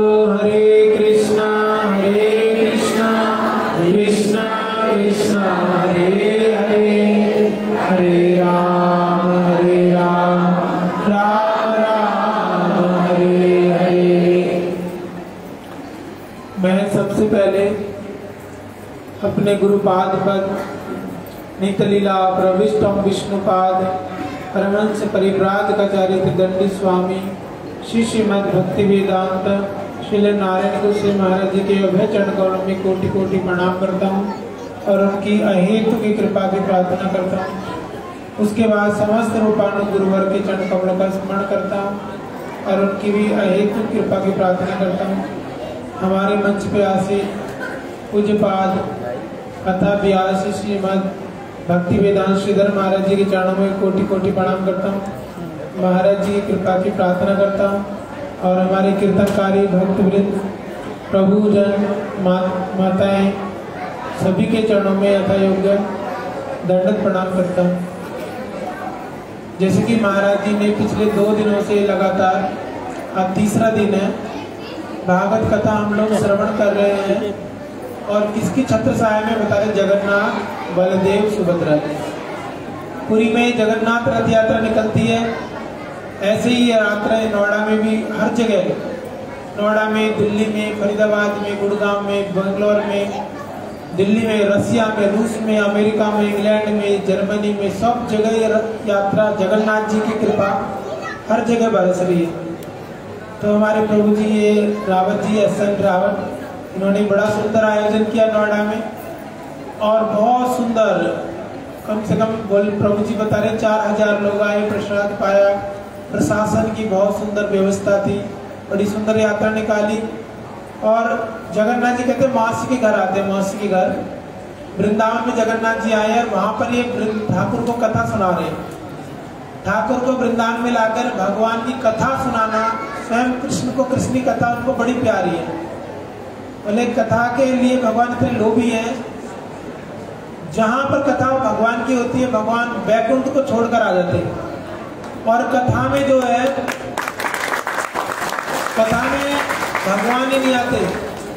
भगवान की कथा में नारद जी, व्यास जी, ब्रह्मा जी, हैं, और सुखदेव परीक्षित महाराज, ऋषि, जितने भी हैं बड़े बड़े देवता लोग, सभी लोग विराजमान होते हैं। तो जो लोग भगवान की कथा में बैठकर सुनते हैं, वो बहुत सौभाग्यशाली है, जैसे आप लोग हैं। अपना सब घर बार छोड़कर आए हैं भगवान की कथा सुनने के लिए। जगन्नाथ कितनी कृपा करेंगे? देखो, कितनी बड़ी बड़ी आँख है जगन्नाथ जी की देखना। कैसे देख रहे हैं आप लोग वो, हैं? बड़ा प्रेम से वो जगन्नाथ जी देख रहे हैं, कौन मेरी कथा सुनने के लिए आए और इस समय जगन्नाथ जी बहुत प्रसन्न होते हैं। जब गुंडीचा मंदिर में आते हैं ये ये समझ लो, ये क्या बारात घर है, सेक्टर चौतीस है। ये वृंदावन है। भगवान कहते, यत्र गायंती मद भक्ता तत्र तिष्ठामी नारद। जहाँ मेरे भक्त मेरा कीर्तन करते हैं, जहाँ मेरे भक्त मेरी कथा करते हैं, वहाँ पर मैं विराजमान होता हूँ। तो ये क्या है? ये वृंदावन धाम है अभी। सात दिन के लिए वृंदावन धाम कैसे? क्योंकि भक्त लोग होते हैं। कहते, भक्तों के हृदय में सदैव भगवान, गोविंद कहे नमम वैष्णव प्राण जो वैष्णव जो वैष्णव के हृदय में कौन रहते भगवान? तो जैसे महाराज जी जगन्नाथपुरी से आए कितना गर्मी था, देखो, जिस दिन महाराज जी आए, मौसम इतना बढ़िया हो गया। कथा का जगन्नाथ जी जगन्नाथ जी जैसे विराजमान हुए, जगन्नाथ जी रात थी, इतनी गर्मी थी, दो दिन पहले इतनी गर्मी थी, प्रभु जी बता रहे थे। जैसे जगन्नाथ जी रथ में इतनी बढ़िया बारिश, बादल आ गए, और जिस समय रथ यात्रा निकली, उस समय बारिश बंद हो गई। बस मौसम ठंडा था, नाचते हुए, गाते हुए, कीर्तन करते हुए हम लोग आए। बड़ा सुंदर जगन्नाथ जी व्यवस्था कर रहे हैं। और इतनी सुंदर प्रभु ने महाराज जी की भी व्यवस्था कर दी है रहने के लिए, सब कुछ हो रहा है। आप लोग कितने बढ़िया है, ठंड भाई। बाहर निकल गए तो कितना गर्मी है। शीतल है ना? निताई पद कमल, कोटि चंद्र सुशीतल। जे छाया जगत जुड़ा है? भगवान की जो छत्र छाया वो वैसे भी शीतल है। तो हम लोग यहाँ पर बैठे हैं। प्रसाद की भी बड़ी सुंदर व्यवस्था है। और ये देवताओं के लिए दुर्लभ कथा में बैठना सब कुछ है, फिर भी हम लोग, आप लोग तो सौभाग्यशाली हैं। फिर भी और भी ज़्यादा कृपा करना चाहते हैं आप लोग। अभी अवसर है, आज तीन दिन हो गए, चार दिन हो। रहे तो लोग अपने पड़ोसी को, पत्नी, पति, बच्चे, जिसको भी लेके आ सकते कथा श्रवण कराए। जगत में सबसे बड़ा परोपकार है भगवान की कथा में लोगों को बैठाना। जैसे महाराज जी ने बताया ना तव कथा अमृतम तप्त जीवनम। कवि विरलितम कल्म सापहम श्रवणम मंगलम श्रीमदातम भूमि गणंती थे भूरी दादना इसकी व्याख्या महाराज जी ने सुनाई कि भगवान के कथा कैसे श्रवणम मंगलम जो सुनता है कैसे मंगल होता है कैसे जीवों का ताप हरण हो जाता है सब कुछ महाराज जी ने बहुत सुंदर तरीके से बता रहे। और मेरे को जो अवसर मिला थोड़ा सा हरी कथा करने का भी महाराज जी का उच्छिष्ट है जो गुरुवर्गो से सुना है, महाराज जी सुना, उसको ही बताने का प्रयास कर रहा हूँ। देखो, श्रीमद भागवत महापुराण जो है, श्रीमद भागवत महापुराण में अठारह हज़ार श्लोक है। और ये कोई, ये साक्षात भगवान का ही स्वरूप है। जैसे अभी राम का नाम लेकर पत्थर तैर रहे थे, ऐसे ही भव सागर में पार पाने के लिए कौन है? भगवान ही। ये श्रीमद भागवत के रूप में जगत में आए हुए। बताया गया तमादि देवम करुणा निधानम तमाल वर्णम सुहिता अवतारम अपार संसार समुद्र से तुम भजामय भागवत स्वरूपम कहते तमादि देवम जो आदि देव भगवान है करुणा निधानम वो भगवान करुणा करके तमाल वर्णम ये भागवत के रूप में अवतरित हुए। ये साक्षात भगवान ही है। और क्या है? सुहिता अवतारम। हमारा हित करने के लिए, हमारा मंगल करने के लिए हम लोग भगवान को भूल गए हैं। और हमें जितना भी दुख भोगना पड़ रहा है, वो किस लिए भोगना पड़ रहा है? शास्त्र बताते हैं, कृष्ण भूली से ही जीव अनादि बहिर्मुख अतएव माया तार दे संसार आदि दुख भगवान को भूलने के कारण हम दुखी हैं, और कोई भी कारण नहीं है। हम इतना भाग रहे हैं भाग रहे हैं पता नहीं कहाँ पे हम लोग जा रहे हैं। और हमारा सुख कहाँ पर है? हमारे सबसे निकट सबसे निकट बैठने वाले कौन है? हमारे हृदय में भगवान है। ये जगन्नाथ है कृष्ण है। ये सबसे पास में बैठे इसको भूल गए है ना?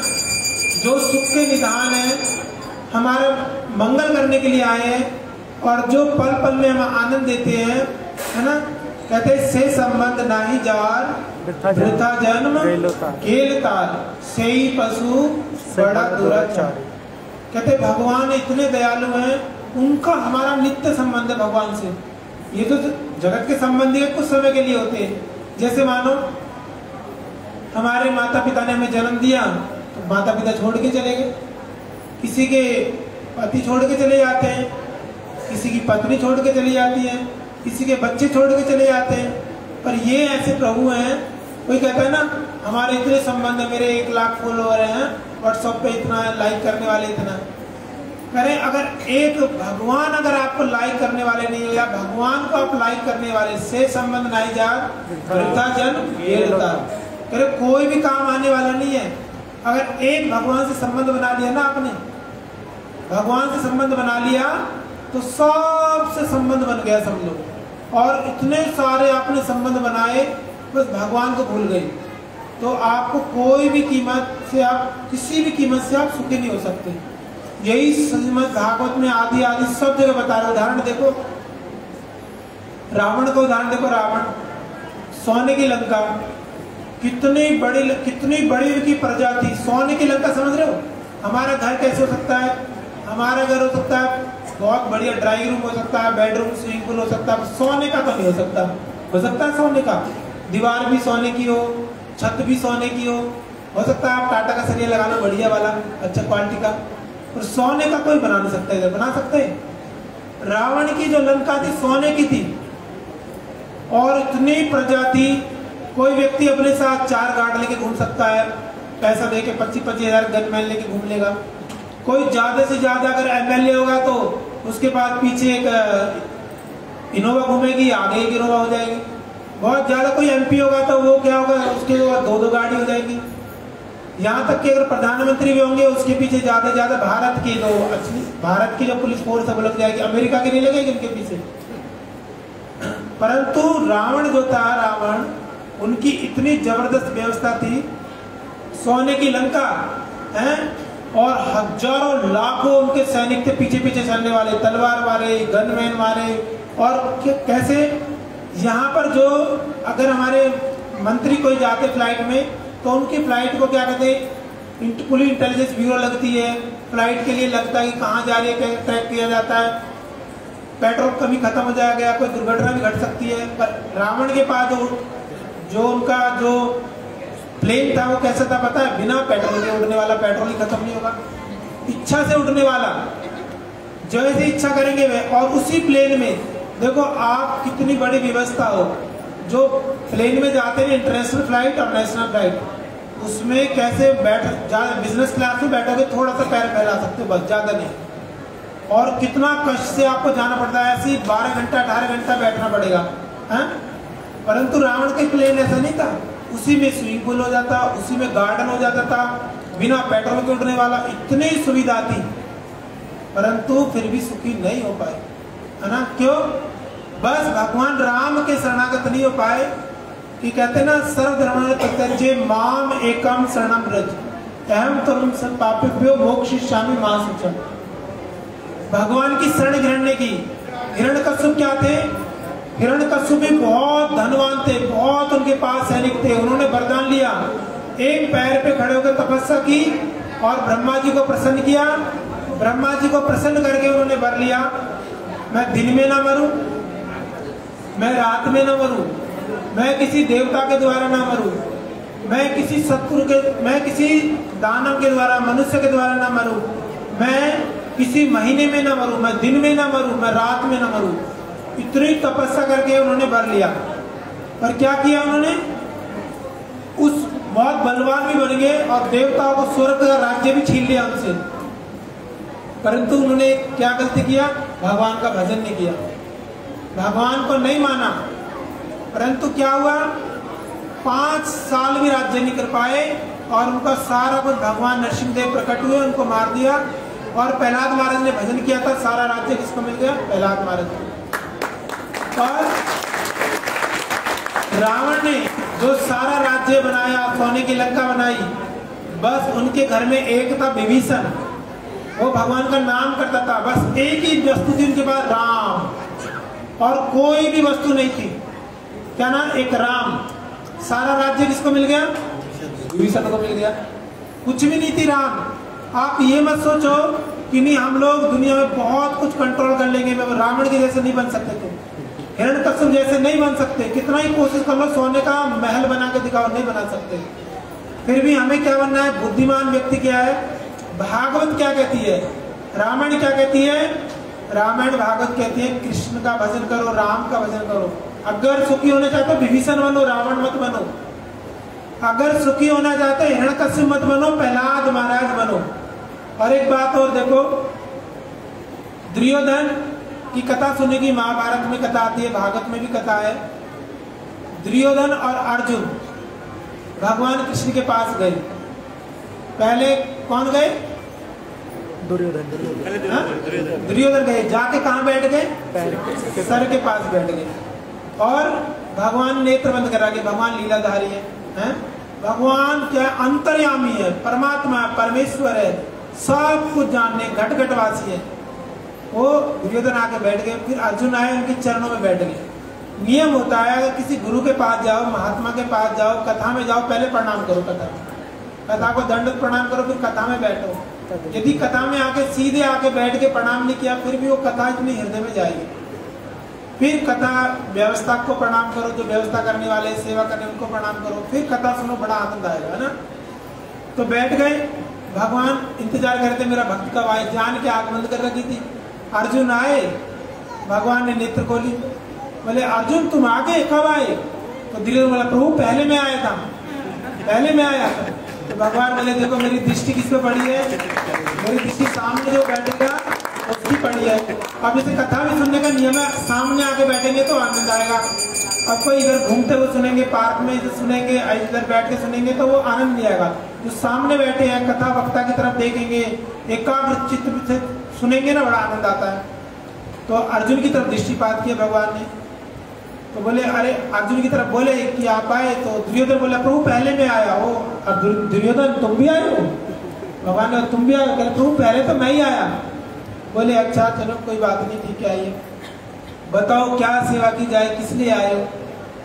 तो उन्होंने बोला, दुर्योधन ने कि, प्रभु, आपके, हम लोग आपकी मदद मांगने के लिए आए हैं। महाभारत का युद्ध होने जा रहा है। आप हमारी मदद कीजिए। बोले, देखो, मैं तो युद्ध लड़ूँगा नहीं।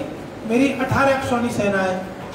अठारह अक्षौनी सेना है और एक तरफ़ दोनों तुम मेरे सामने बैठो, एक ग्यारह अक्षौनी सेना एक व्यक्ति ले लेगा और सात अक्षौनी सेना एक व्यक्ति लेगा।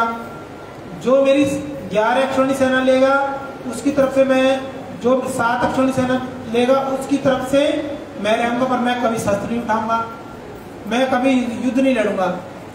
अब दुर्योधन भी बड़ा चतुर बने, जैसे हिरण चतुर बने। रावण चतुर बनने की कोशिश किए अब ये भी चतुर बनने की।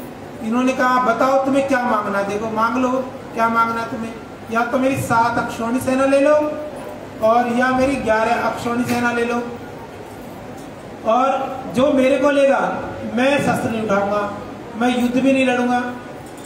तो दुर्योधन ने सोचा, अगर मैं बोलूँगा, प्रभु अपनी सेना दे दो। आप तो क्या करेंगे? तो बुरा लग जाएगा इनको, है ना? परंतु जो भगवान लड़ेंगे नहीं तो लेके मैं क्या करूँगा? अब इन्होंने क्या चतुराई दिखाई है? भगवान के सामने, गुरु के सामने, वैष्णव के सामने कभी चतुराई नहीं दिखानी चाहिए, है ना? तो हम ठगे जाएँगे। तब इन्होंने क्या क्या किया? प्रभु अर्जुन अर्जुन पे पहले दृष्टि पड़ी ना आपने? तो अर्जुन की मांग लेगा उन्हें उनको पता था अर्जुन क्या मांगेगा? भगवान को मांग लेगा, कृष्ण को। ग्यारह अक्षोणी सेना मेले मिल जाएगी। अब अक्षोणी सेना का मतलब समझते हैं?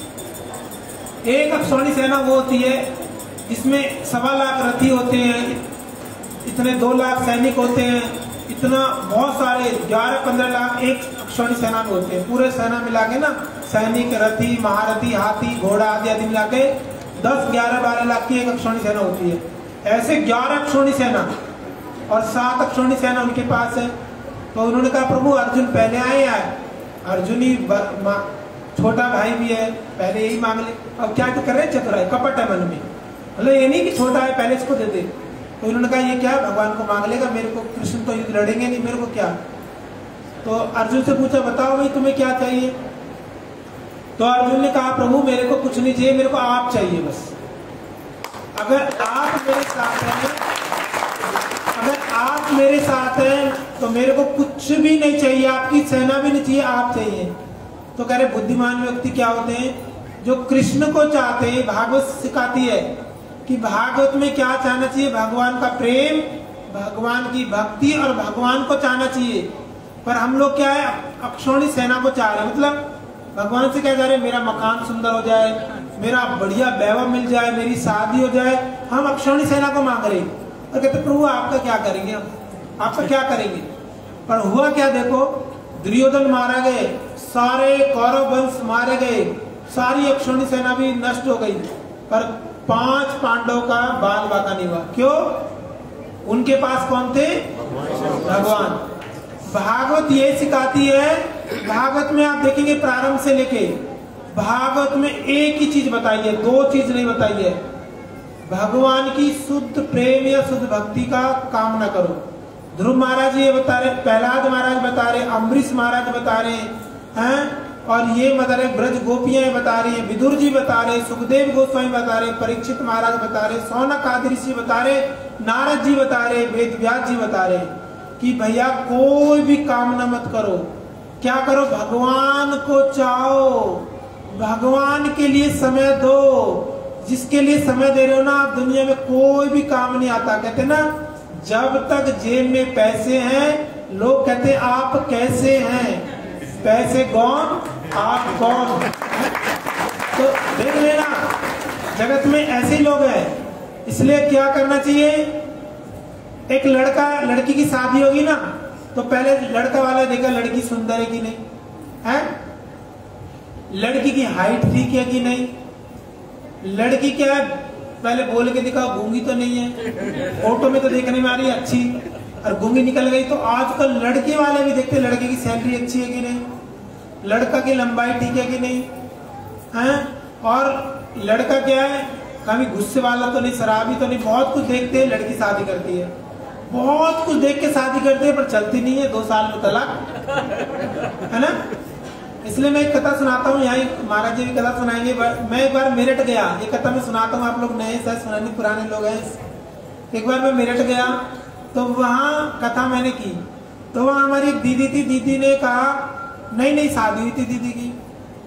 तो उन्होंने कहा कि, प्रभु, हमको ऐसा आशीर्वाद दिए, दीजिए, ये जो मेरे पति हैं, सात जन्मों तक यही मेरे पति रहे। मैंने कहा, दीदी, ये तो हमारे पास आशीर्वाद ही नहीं है। सात जन्मों तक लोग एक एक जन्म में सात सात बदल रहे हैं। आप सात जन्मों तक एक पति। इतनी निष्ठा है आपकी। मैंने कहा, पर दीदी, ऐसा आशीर्वाद हमारे पास है नहीं। आप एक से काम चलाओ तो बाद में आके देखेंगे। तो मैं गया, फिर दो साल के बाद उसके घर में, दीदी के घर में कथा करने गया। मैं देखा दीदी, अकेली है खाना बना रही है, इधर उधर घूम रही है? तो मैंने उनको बोला, मैं कहा, दीदी, वो आपके पति कहाँ गए? प्रभु जी, कहाँ गए शादी की थी आपने दो साल पहले। कहती, प्रभु जी, हमारा तो तलाक हो गया। मैंने कहा तलाक हो गया मैंने कहा, दीदी, शुक्र करो मेरे पास आशीर्वाद नहीं था। अगर मैं सात जन्मों का दे देता तो तलाक भी नहीं ले पाते आप। तो बोली, प्रभु, सात जन्म क्या? सात दिन नहीं रह सकती मैं उसके साथ। वो ऐसा था। आप तो कह रहे थे। तो कहने की ये जगत में प्रेम कैसा है? कि जगत का प्रेम बताओ और भगवान का प्रेम देखो। जगत का जो प्रेम बढ़ता है ना आई लव यू और बढ़ता आई लीव यू और बढ़ता आई किल यू ऐसे बढ़ता है प्रेम। पहले प्रेम बहुत अच्छा आई लव यू से बढ़ता है, फिर आई लीव यू फिर आई किल यू देखा ना, हमारे शशि थरूर जी हैं कांग्रेस के नेता। बोलना चाहिए नाम किसी नेता का, पर उन्होंने उनको ही मार दिया। तो दूसरी बात, प्रेम भक्ति में कैसे बढ़ता है? श्रद्धा। फिर श्रद्धा के बाद साधु संग। फिर अनर्थ की निवृत्ति। फिर निष्ठा। फिर रुचि, फिर आसक्ति, फिर भाव, फिर प्रेम। फिर क्या होता है? सब प्रकार का विद्यंते हृदय ग्रंथि छिदंते सर्व संचया छियंते चाष्य प्रमाणी एवात्मीश्वरे और क्या होता है? जीव का समस्त प्रकार के पाप नष्ट हो जाते हैं, अनर्थ नष्ट हो जाते हैं, और भगवान का प्रेम प्राप्त हो जाता है। जो एक बार पा लिया जिसने, क्या होता है? अशोक अभय अमृताधार, तुम्हार चरण दुए एक बार प्रेम भगवान का पा लिया ना, फिर कहीं दोबारा जाता नहीं है। और जब तक हम भगवान का प्रेम नहीं प्राप्त करेंगे ना, हम लोग इधर उधर भटकते रहेंगे। तो भागवत यही सिखाती है, महाराज जी भी यही सिखाने आए हैं। हमारा कोई भी स्वार्थ नहीं है, आप लोगों से। एक ही स्वार्थ है, आप कथाओं को ध्यान से सुनिए। देखो, अभी हमारे भक्त लोग कुछ तिलक लगा रहे थे ना, मारे टोक दिया, कथा सुनो बस। कथा सुनो, ध्यान से, फिर बाद में कुछ भी कर लेना। आप कोई भी कार्य मत करो, कथा सुनो। महाराज की एक इच्छा है कि कथा में सुनो। जो हम कथा सुनते हैं ना, भगवान की सबसे बड़ी कृपा है। तेसाम एव अनुकंपार्थम ज्ञान जम तमा। नासम भावस्त ज्ञान दीपेन भास्वता। भगवान कहते हैं, मेरी तेसाम एव अनुकंपार्थम मैं उन पे कृपा करता हूँ। अगर मेरी सबसे बड़ी कृपा है, मैं अपनी कथा को जिसको सुनाता हूँ। जो मेरी कथा में बैठ गए, वो सबसे बड़े मेरी कृपा पात्र है। ये मत सुनो, कोई पैसे वाला कृपा है, धनवान है, कह रहे, नहीं, जैसे तैसे आप अपना समय निकाल के आए हो। किसी भी प्रकार से आप इस पंडाल में आए हो। भगवान की कृपा आपके ऊपर हुई है। नहीं, देखो, कौन आ पाता है? कहाँ कहाँ लोग भटक रहे हैं? पता नहीं कितनी ट्रैफ़िक में है, कोई कहाँ जा रहा है, कोई कहाँ जा रहा है? जो कथा में बैठ गया, भगवान की गोद में बैठ गया, वो भगवान का बड़ा प्यारा है। इसलिए आप बहुत सौभाग्यशाली हो भगवान की कथा में आए हो। कल से और लोगों को लेके जाना। आप चिंता मत करना हॉल में जगह नहीं है। भगवान और जगह करेंगे। जगन्नाथ इनका नाम जगन्नाथ। बहुत व्यवस्था करेंगे। बोलो जय जगन्नाथ की बलदेव प्रभु की सुभद्रा महारानी की दर्शन चक्र की गौर प्रेमानंदे। हाँ, जो कल कल है कथा की चौथा दिन है। चौथा दिन में ठाकुर जी जन्म लेंगे।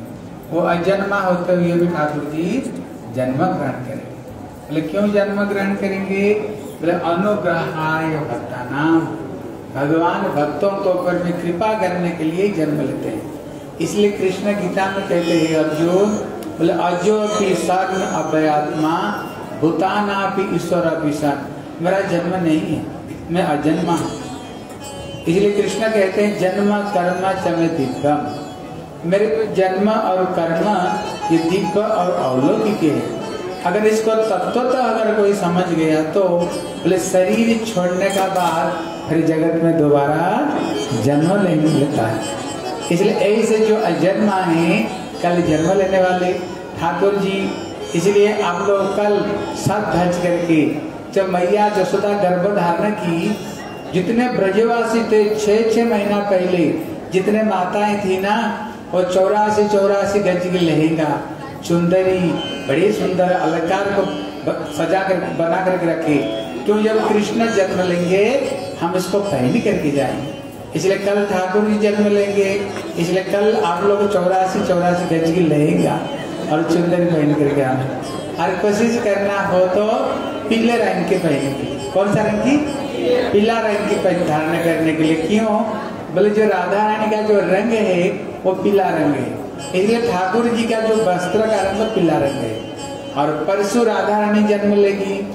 इसलिए परसों आप लोग सब के सब गुलाबी रंग के साड़ी पहन कर आना जो गुलाबी रंग, वो प्रेम का रंग है। कहते ना, आज विरज में होली रसिया जो गुलाल रंग है, वो प्रेम का रंग है। देखो, हम लोग जो ये कपड़ा क्यों धारण करते हैं?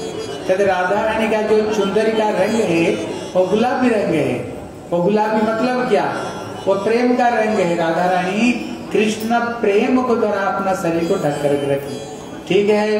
कल हम लोग बड़े धूमधाम से नंद के आनंद भयो। कल बड़े धूमधाम से भगवान की जन्मोत्सव मनाएँगे। और ये जो कथा हो रही है, ये सब आप लोगों की कथा है। आप लोग सब मिल करके कथा कर रहे हो। इसलिए कल कोशिश करना, जैसे लुटाते हैं ना टप्पी खिलौना, है तो चीज़ को लुटाते हैं, अब कुछ कुछ ले करके आना, कल इसको हम लुटाएँगे। और माताएँ तो बड़ी सुंदर सुंदर साड़ी पहन करके आएँगी। हमारे भैया लोग क्या पहना? हाँ बताओ क्या पहन करके आओ कोशिश करना, अगर जिसको घर में धोती कुर्ता हो यह हमारी हिंदू संस्कृति है कभी आप लोग वृंदावन में जाओ, अंग्रेज़ी लोगों को देखना।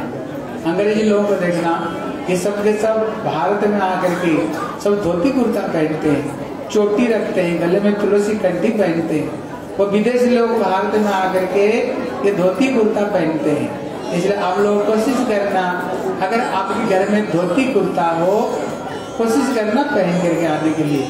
आज जिनके घर में नहीं हो, कोशिश करना कम से कम जो सफ़ेद रंग की पैजामा और कुर्ता पहनने का ठीक है? और इसलिए आप लोग कल सब धैर्य करके आना, बड़े धूमधाम से हम नंद महोत्सव मनाएँगे। अभी भागवत में हम लोग श्रवण करेंगे श्री ध्रुव महाराज का चरित्र। कैसे ध्रुव महाराज जी छह महीना में कैसे ठाकुर जी को कैसे प्राप्त किया है, इसमें उन्होंने क्या शिक्षा दिया है, आज हम श्री ध्रुव महाराज की कथा सुनेंगे। ठीक है? हमारे बीच में हमारे इधर प्रभु जी है, ये भी उड़ीसा की है। हाँ ये भी बिटे किया हुआ है लड़का इसलिए मार्ग इसलिए कि उन्होंने श्री ध्रुव महाराज जी की कथा सुनाएँगे हम लोग ध्रुव महाराज जी की कथा सुना। एक बार हाथ उठा कर सब बोले। बोले, हरे कृष्णा हरे कृष्णा कृष्णा कृष्णा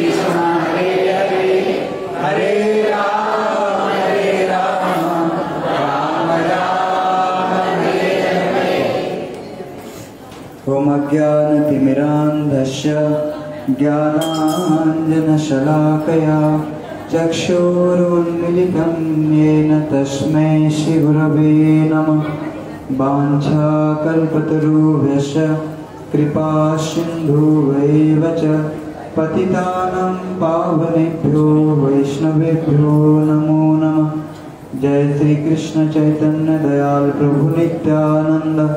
श्री अद्वैत गदाधर शिवाशादि श्री गौर भक्त वृंद सब लोग एक बार हाथ उठाए हरे कृष्णा हरे कृष्णा कृष्णा कृष्णा, हरे हरे हरे राम हरे राम राम राम, हरे आगे के माताएँ और प्रभु जी लोग तो कह रहे हैं, पीछे जैसे सो गए हैं दीवार में लग के। एक बार और ज़ोर करके, जो जो बोल नहीं पाए, एक बार ज़ोर करके बोलिए।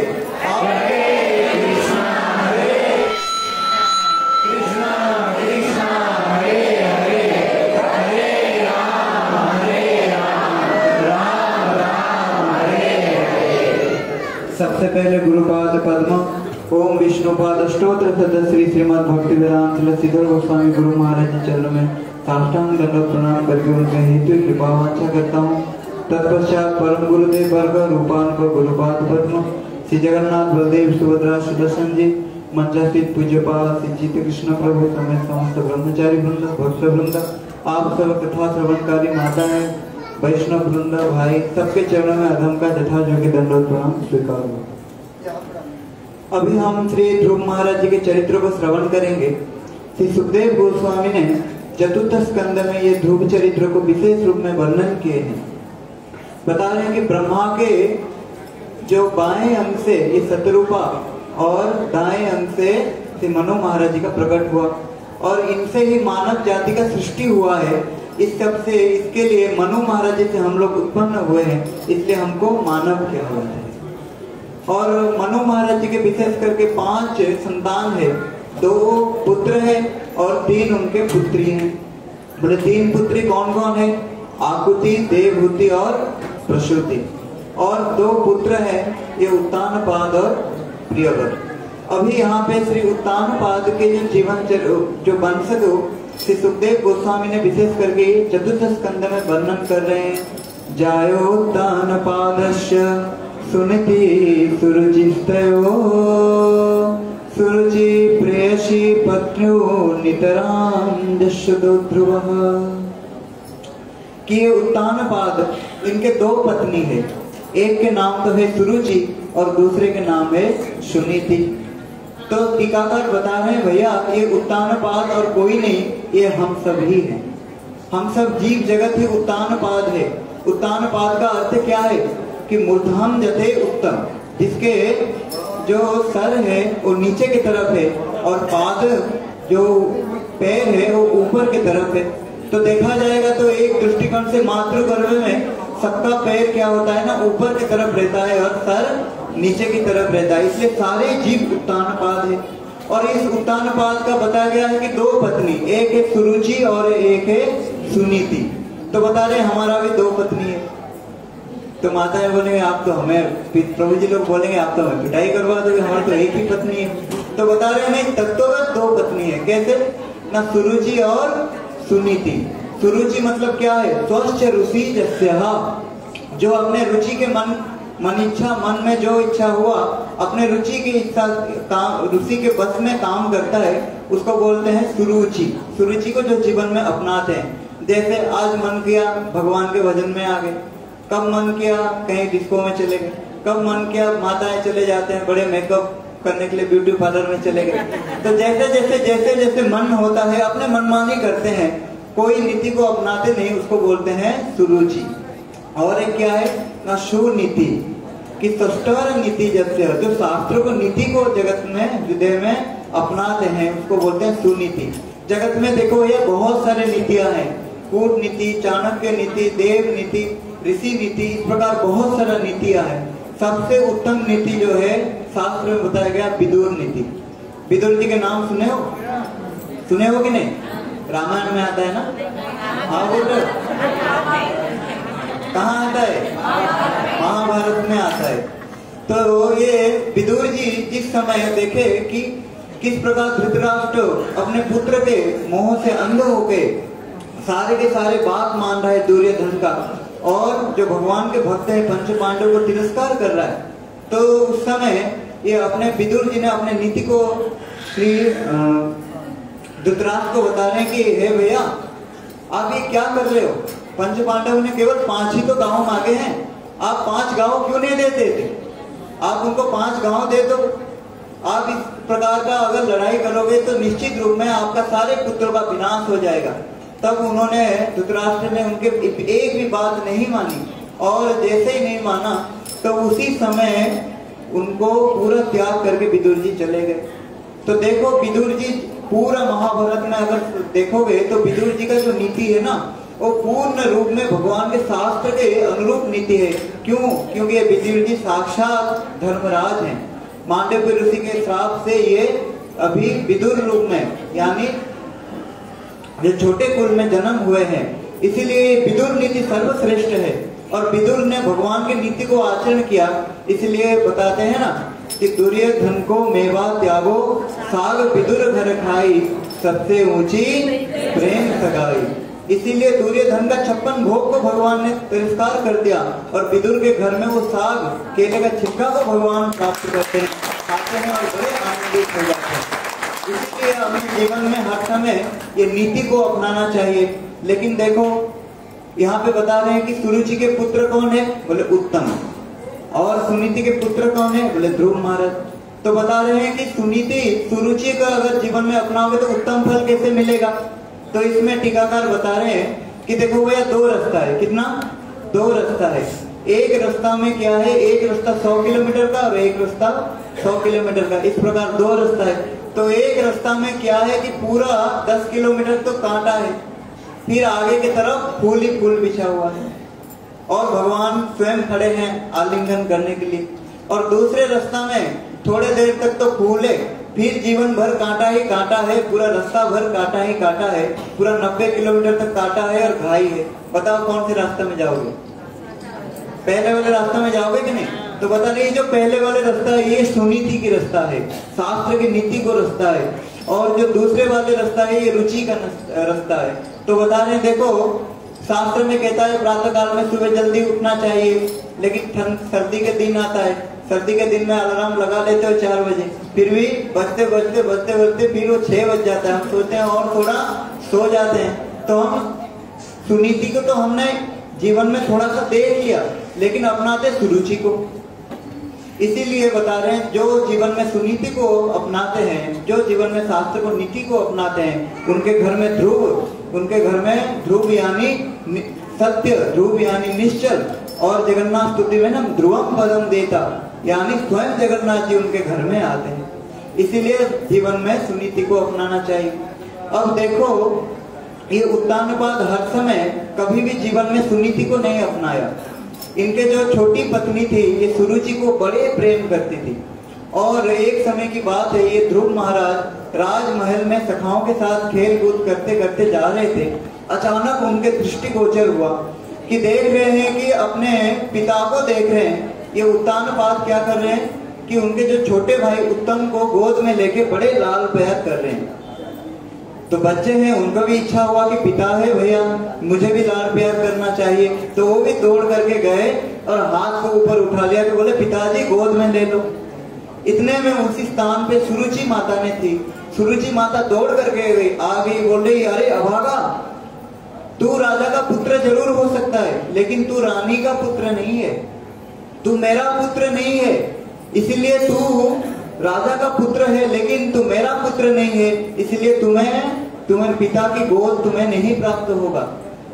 अगर तुम अपने पिता की गोद चाहते हो तो तुम भगवान को भजन करो, भगवान को ध्यान करो और भगवान के भक्ति करते करते अगर भगवान प्रकट हो जाए ना तो उनको बोलना कि प्रभु, मुझे कैसे ना कैसे करके सुरुचि माता के गर्भ में जन्म दे दो, ताकि मैं उत्तान बाद अपने पिता के गोद में बैठ जाऊँ। इतना जब कहने लगे, इतना कटु वचन जब कहने लगे और पाँच साल के ध्रुव महाराज जी सोच रहे हैं कि माता तो कटु वचन, कटु वाक्य कह रहे हैं, लेकिन पिता क्या मुझे सच में क्या देखना नहीं चाहते? अपने पिता की तरफ़ देख रहे हैं। लेकिन पिता भी सुरुचि प्रियोसी पत्नी। अपने पत्नी के प्रेम में इतने वशीभूत थे, सुरुचि को इतने रूप में, जीवन में अपनाए थे, कि एक तरफ़ भी ध्रुव की तरफ़, ध्रुव महाराज जी की तरफ़ देखा नहीं। ध्रुव महाराज यहाँ पे कह नहीं रहे कि आप उत्तम को अलग से बिठा दो और मुझे गोद में ले लो। अरे मैं भी आपके पुत्र हूँ, मुझे भी समान हक मिलना चाहिए, आप मुझे भी गोद में बिठा सकते हो। एक तरफ़ आप उत्तम को धारण करो और एक तरफ़ मुझे भी थोड़ा बात्सल्य प्रेम दो। फिर भी उत्तान बाद उनको देख नहीं रहे। इतने में ध्रुव महाराज जी तो बड़े गुस्से में आ गए, क्योंकि स्वभावत क्षत्रिय वंश के हैं। इसलिए बड़े गुस्से में आ गए। भागवत जी में वर्णन कर रहे हैं, जैसे एक सांप सांप को कैसे लाठी में मार दो डंडा में, जिसे फुटकार करके अपने फन को ऊपर उठाता है। उसी प्रकार ध्रुव महाराज जी को हृदय में बड़ा आघात हुआ। रोते रोते अपने सुनीति माता के महल में दौड़ के जा रहे हैं। और जैसे ही सुनीति माता ने देखे कि सिसक सिसक कर रो रहे हैं, कुछ बोल नहीं पा रहे हैं, इतने में सुनीति माता ने अपने पल्लू निकाल करके उनके आँसू को पोछ दिया। बता रहे हैं, बेटा, क्या हुआ? अब इतने ज़ोर ज़ोर से ध्रुव महाराज जी रो रहे हैं, तब वहाँ पे अंतपुर के कुछ दासियाँ थे तो उन लोगों ने बोलने लगे, और होगा क्या? आपके अपमान तो महल में होती रहती है, आज इनके अपमान हो गया, आज राजकुमार के अपमान हो गया तब सब दृष्टांत को श्रवण करने के बाद ये सुनीति माता भी कह रहे अरे, मैं क्या मर गई थी? तुम्हें बैठना है तो मेरे गोद में बैठ जाता, बेटा, मैं क्या मर गई थी सच में? तुम अपने पिता के गोद में क्यों गए थे? वहाँ पे क्यों गए थे तुम? और देखो, बिल्कुल भी ये किसी के ऊपर दोष नहीं देखे, क्योंकि ये सुनीति है। सुनीति यानी शास्त्र की नीति को पूर्ण रूप में आचरण करने वाले, दोष नहीं देखे। आजकल के माताएँ होते तो चल, कौन तुम्हारे बाप है? देख, दिखाऊँगा अभी केस में। कोर्ट में लेके केस ठोक दूँगा, पूरा चक्की पीसते रहेंगे। चल, दिखाऊँगा। आजकल के माता यही करती कि नहीं? लेकिन सुनीति माता, देखो क्या शिक्षा दे रहे हैं। देख बेटा, इंसान को जो भी कर्म का फल प्राप्त, कर्म के अनुसार अपने अपने फल प्राप्त होता है।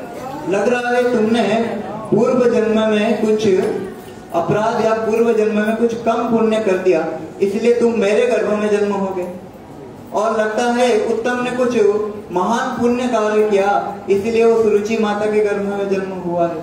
इसीलिए देख बेटा, सारे के सारे जो चीज़ है, ये कर्म के फल के अनुसार जीव को प्राप्त होता है।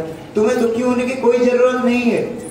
यद्यपि उनके हृदय में भी बड़े जैसे बड़े दुख हो रहा है, फिर भी सांत्वना दे रहे हैं अपने बच्चे को और बता रहे हैं कि, हे ध्रुव, देखो यद्यपि तुम्हारे विमाता है, फिर भी बड़े अच्छे बात किया। बोले, क्या? बोले, भगवान के भजन करने का तुम्हें उपदेश दिया। यहाँ पे हमारे टीकाकार बोलते हैं कि जो सुरुचि ने बताया, उसमें एक अच्छी बात बताया और एक बुरी बात बताया। बोले, एक अच्छी बात क्या बताया? कि अच्छी बात ये है कि बता रहे हैं कि देख, ये जो तुम, तुम्हारा जो पिता का गोद, ये कब तक रहेगा? ये तुम्हारे माता के कटु वचन कब तक रहेगा? ये राज्य सुख तुम्हारे कब तक रहेगा? अरे मैं कब तक रहूँगा? अगर बैठना है तो तू जगन्नाथ जी के गोद में बैठ जा। बैठना है तो तू जगन्नाथ जी के गोद में जा भगवान के गोद में बैठ जाता है ना, एक बार भगवान उसको अंगीकार कर लेते हैं तो कोटि वात्सल्य प्रेम भगवान प्रदान करते हैं। अरे, इस जगत का प्रेम का तो छोड़ो, पूरा अनंत काल तक तो तुमको, उस प्रेम को प्रदान करेंगे। और इतने में, ये तो अच्छी बात है कि जब गत्वान निवर्तनते तद्धामम परमम मम। जिस धाम को जाने के बाद और जीव इस जगत में नहीं आता है, भगवान गीता में कह रहे हैं। तो देखो वो बता रहे हैं कि एक अच्छी बात ये कहा कि तू अगर बैठना है तो भगवान के गोद में बैठ जा। भगवान के गोद में बैठोगे तो सीधा नित्य धाम में जाओगे और जहाँ पे जाने के बाद इस जगत में नहीं आओगे। और बता रहे हैं कि सुरुचि माता ने एक खराब बात किया। बोले, क्या? कि उन्होंने बोला कि तुम्हें भगवान अगर मिल जाएँगे ना तुम उनसे प्रार्थना करोगे कि मेरे गर्भ में फिर से जन्म लेना। तो बता रहे हैं कि ये कोई बात है? जिसको भगवान की गोद प्राप्त हो गया, जिसको भगवान की उस धाम प्राप्त हो गया, फिर वो क्यों गर्भ में आएँगे? फिर और क्यों दुख कष्ट को सहन करेंगे? ये उन्होंने बुरा बात कर दिया। लेकिन यद्यपि बुरा बात करी, किया है, फिर भी हम तुम सारग्राही बनो। तुम सारग्राही बनो। जैसे हंस को देखे हो ना, हंस?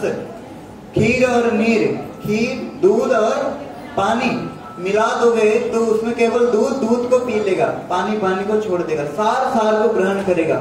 जैसे एक मधुमक्खी को देखे हो कि नहीं? मधुमक्खी मधुमक्खी क्या करता है? फूल में भी मधु संग्रह कर लेता है और कांटे में भी मधु संग्रह कर लेता है। इतना उसका पावर है। तो बता रहे तुम क्या करो ना, सार ग्राही बनो। जो तुम्हारे विमाता बताए हैं कि भगवान के भजन करना चाहिए तो भगवान के भजन करो। इतने में ध्रुव महाराज जी को बड़े सुंदर शिक्षा दिया सुनीति माता ने और भजन करने की उपदेश देते हुए वन के ओर जाके भजन करने की विधि बता दी। तब ध्रुव महाराज जी पाँच साल के छोटे बालक वन की तरफ़ जा रहे हैं भजन करने के लिए। कौन बच्चा आजकल भजन करने जाएगा? पाँच साल में कौन भजन करने जाएगा? बता रहे हैं यहाँ ध्रुव महाराज जी का कैसा निष्ठा है। वो भजन करने के लिए जा रहे हैं। नारद जी दूर से देखने लगे। नारद जी दूर से देख करके बोले, अहो, अरे ये छोटे पाँच साल का बालक ये भगवान के भजन करने जा रहा है। तो भैया इससे तो बड़ा मिलना पड़ेगा। नारद जी बीना बजाते बजाते पहुँच गए। तो नारद जी को देख के ध्रुव महाराज जी ने प्रणाम किए। तब तो नारद जी बोलते हैं, अरे तुम क्यों दुखी हो रहे हो? अगर तुम्हें तुम्हारे पिता ने नहीं बिठाया गोद में तो चलो, मैं तुम्हारे पिता को समझा दूँगा, पिता को और तुम्हारे माता को समझा दूँगा। गोद में बिठा लेंगे। कहाँ तुम छोटे बच्चे कहाँ इस समय की टोपी खिलौना में तुम खेलने वाले? तुम कहाँ भगवान के भजन करने जाओगे? और जा भी कहाँ रहे हो? वन में। अब वन में क्या रहता है? हिंस, जंतु, बाघ, शेर, ये सब रहते हैं, चीता आदि रहते हैं। खा जाएँगे तुम्हें। जंगल में मत जाओ। अब इतने में ध्रुव महाराज जी तो आगे पीछे करके देखने लगे। भाई, आप सचमुच सचमुच नारद जी हो? आप क्या सचमुच नारद जी हो?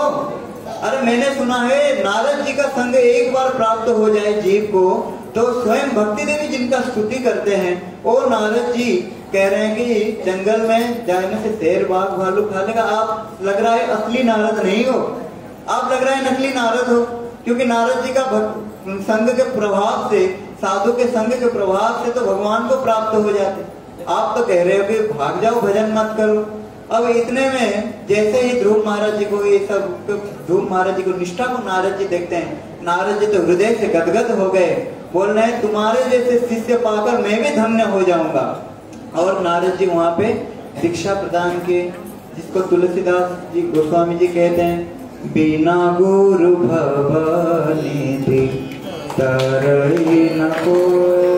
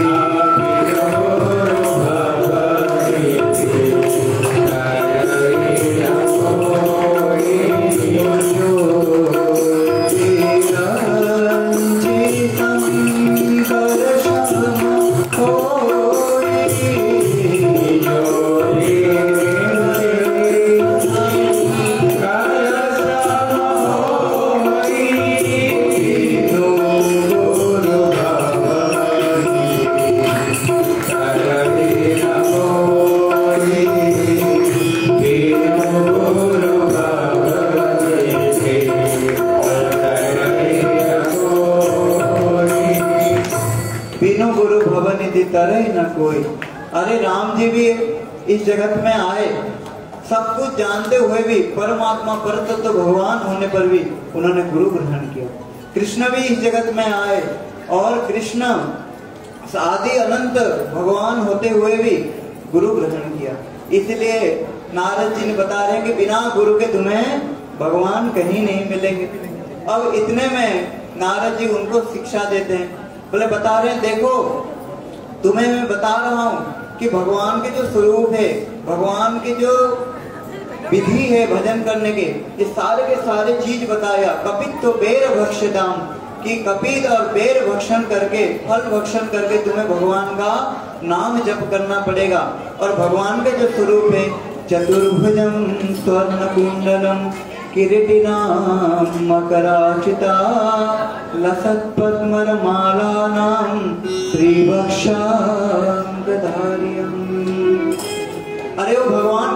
दिखते हैं। सौक्त चक्र गदा पद्म में चतुर्भुज रूप धारण करने वाले माथे पे बड़े सुंदर मुकुट है और हृदय पे उनका कौस्तुभ मणि है। वक्षस्थल पे श्रीवत्स चिन्ह है। पीताम्बर रूप धारण कर रखे हैं प्रभु। पीताम्बर वस्त्र धारण कर रखे हैं। और लसत पुष्करम बड़े सुंदर कमल के फूल प्रभु धारण कर रहे हैं। और उनके आँख तो देखो, बोले बड़े सुंदर कमल के पंखुड़ी के जैसा। इतने भगवान सुंदर दिखते हैं। बोले अच्छा ठीक है, बोले, कौन से नाम पे जप करूँ? तो नारद जी ने वहाँ पे मंत्र प्रदान करते हैं, ओम नमो भगवते वासुदेवाय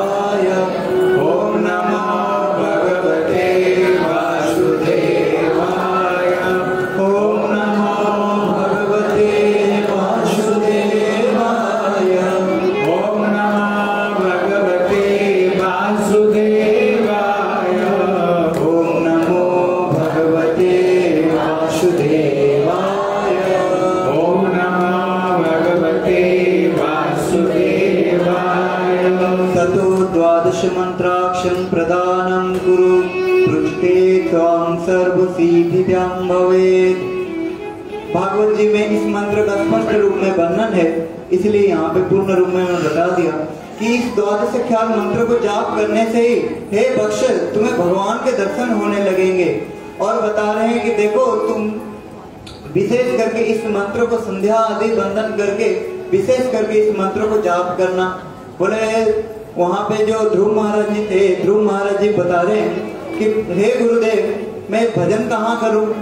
कौन से स्थान पे भजन करूँ? तब नारद जी ने वहाँ पे एक स्थान बता दिया। कि तत्तात गच्छ भद्रम ते जमुनायां तटं शुचि पुण्यं मधुवनं यत्र सान्निध्या नित्यदा हरि बता रहे हैं कि तुम यहाँ से मधुवन चले जाओ, वृंदावन धाम में चले जाओ, ब्रज धाम में चले जाओ और वहाँ पे जाके यमुना के तट पे भजन करना।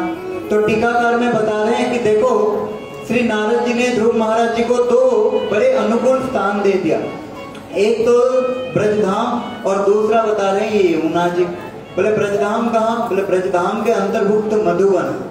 मधुवन नाम सुने हो? मधुवन नाम सुने हो कि नहीं? सूरदास जी कहते हैं कि, माया मेरे, मैं नहीं माखन खायो। भोर भयो गए गयन के पाछे मधुवन मोह पठायो। कि मैया, मैं कभी माखन नहीं खाया। मैं तो सुबह होते ही मधुवन गया चुराने के लिए चला जाता हूँ। तो जहाँ पे कृष्ण राम और अपने सखाओं के साथ बड़े सुंदर करके बलदेव प्रभु और कृष्ण गोचरण करते हैं, उसी मधुवन में, उसी दिव्य स्थान में, उसी पुण्य भूमि में उनको स्थान दिया। देखो, स्थान का बड़ा महिमा, बड़ा प्रभाव पड़ता है। स्थान का बड़ा प्रभाव पड़ता है।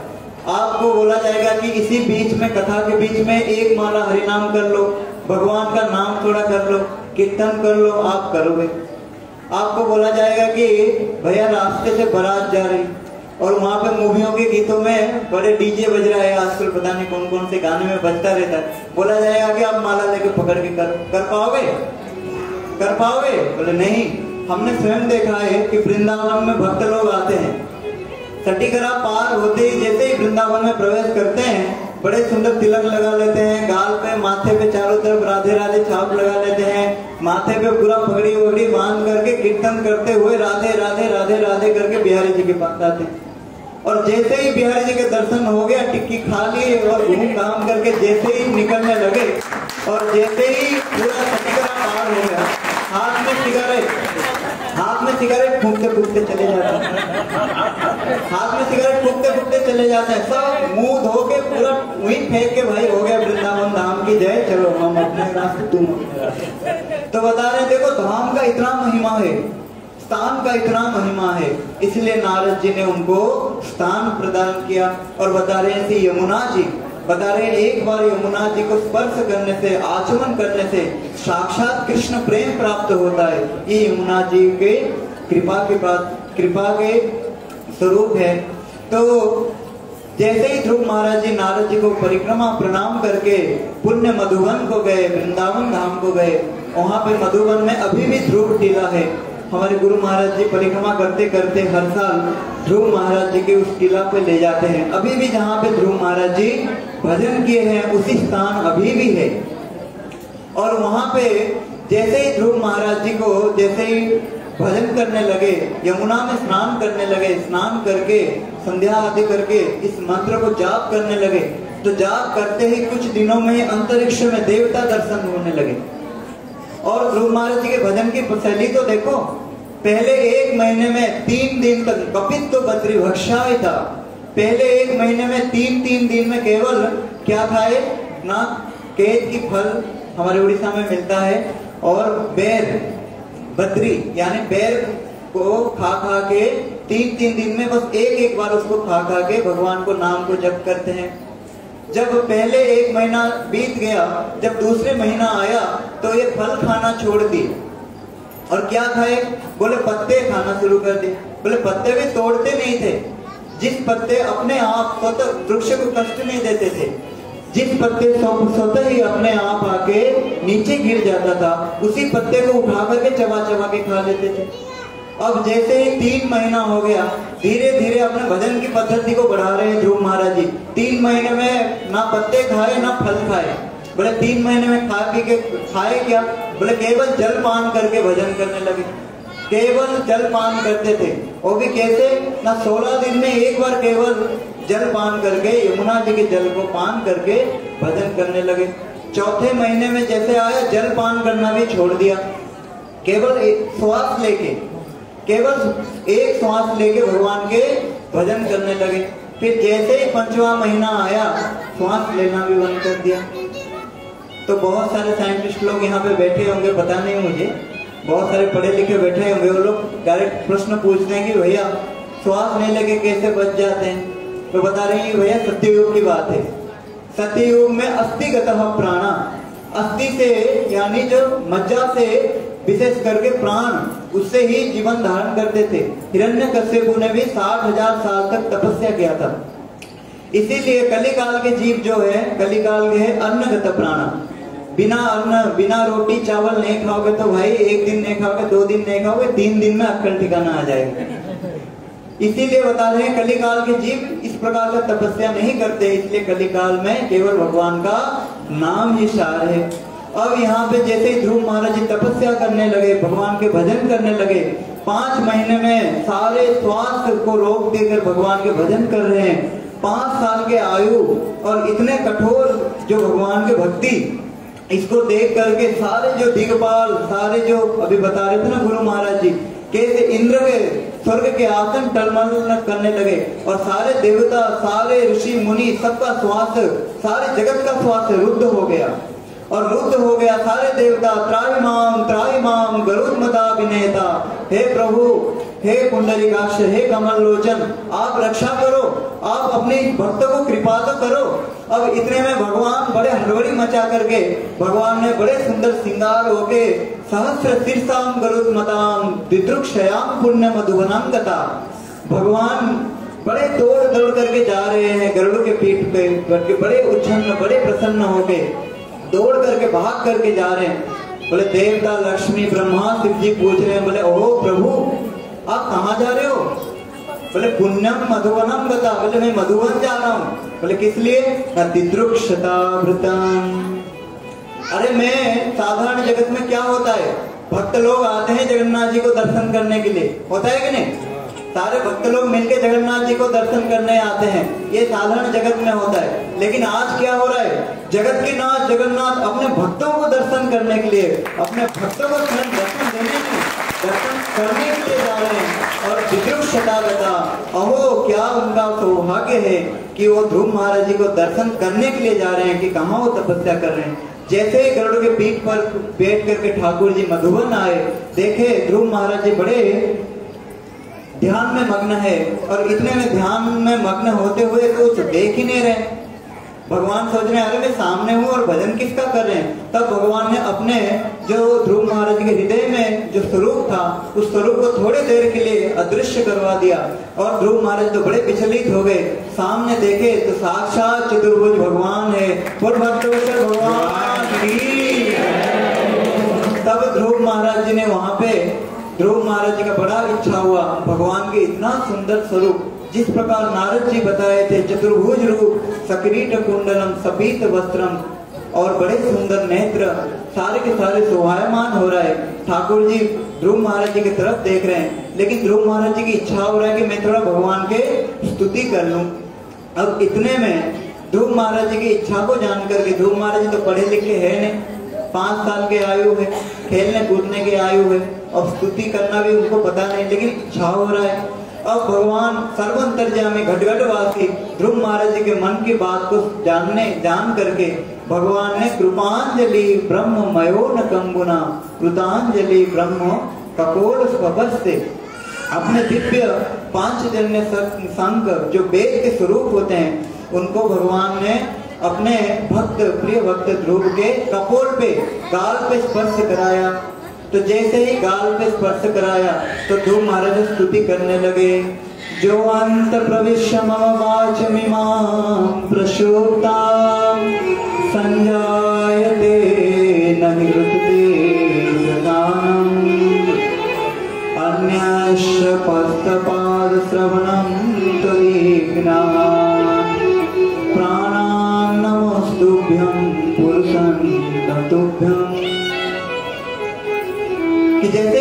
करने लगे कि हे प्रभु मम वाचाम प्रसुप्ता, कि मेरे तो वचन क्या है? ना सुप्त रूप में है। मैं तो कुछ अबोध बालक हूँ, लेकिन आपकी कृपा से क्या हुआ है? ना अन्यश्च, जो अन्य जीवों का जो जिस प्रकार होता है, देखो यहाँ पे विशेष शिक्षा दे रहे कि क्या दे रहे कि बता रहे हस्त चरण श्रवणाम तो दीखना कि हे प्रभु, आप ही सारे के सारे जीव को उसी शक्ति प्रदान करते हो। बोले, क्या शक्ति प्रदान करते हो? अंधे को देखा है? अंधे को देखा है कि नहीं? बड़े सुंदर आँख है, लेकिन वो देख नहीं पाता। क्यों? क्योंकि भगवान ने उसको देखने की शक्ति छीन लिया है। बहरे को देखा है, कान तो होता है भैया, लेकिन सुन नहीं पाता। किस लिए? भगवान ने जो सुनने की जो शक्ति है, उसको छीन लिया है। और बड़े सुंदर जीवा तो होता है, लेकिन बोल नहीं पाता। बोले, क्यों? क्योंकि भगवान ने उसको बोलने की बात शक्ति को छीन लिया है। इसलिए, हे प्रभु, आप मेरे जैसे अधम को ये शक्ति प्रदान की हो कहा मैं अधम व्यक्ति और कहा आपकी स्तुति कर रहा हूँ? कि आपके कृपा से? मूकं करोति वाचालम पंगु तमह वंदे परमानंद माधवम आपकी कृपा से गुंगे भी बोलने लगते हैं और लंगड़े भी बड़े बड़े गिरी बड़े बड़े पहाड़ बड़े बड़े ऊंचाई तक चढ़ के चले जाते हैं। केवल केवल आपके और गुरुपाद पद्म के कृपा से ही ये बात संभव है। इसलिए बड़े सुंदर सुंदर वहाँ पे बारह श्लोक में स्तुति किया। शीतल गोस्वामी बात तो कहते हैं, ये बारह श्लोक नहीं है, ये बारह आदित्य है। सूर्य के समान भास्करित है, भक्तों का हृदय के भाव है। बारह श्लोक में स्तुति करने के बाद भगवान बड़े प्रसन्न हो गए। और बड़े प्रसन्न हो गए बोल रहे कि, ध्रुव, कुछ वरदान मांग लो, कुछ तो मांग लो। तुम यहाँ पे तपस्या की तो कुछ तो इच्छा हुआ, कुछ वरदान मांग लो। स्थानाविलाशे स्तपसि स्थितो त्वं प्राप्तशं देवमुनि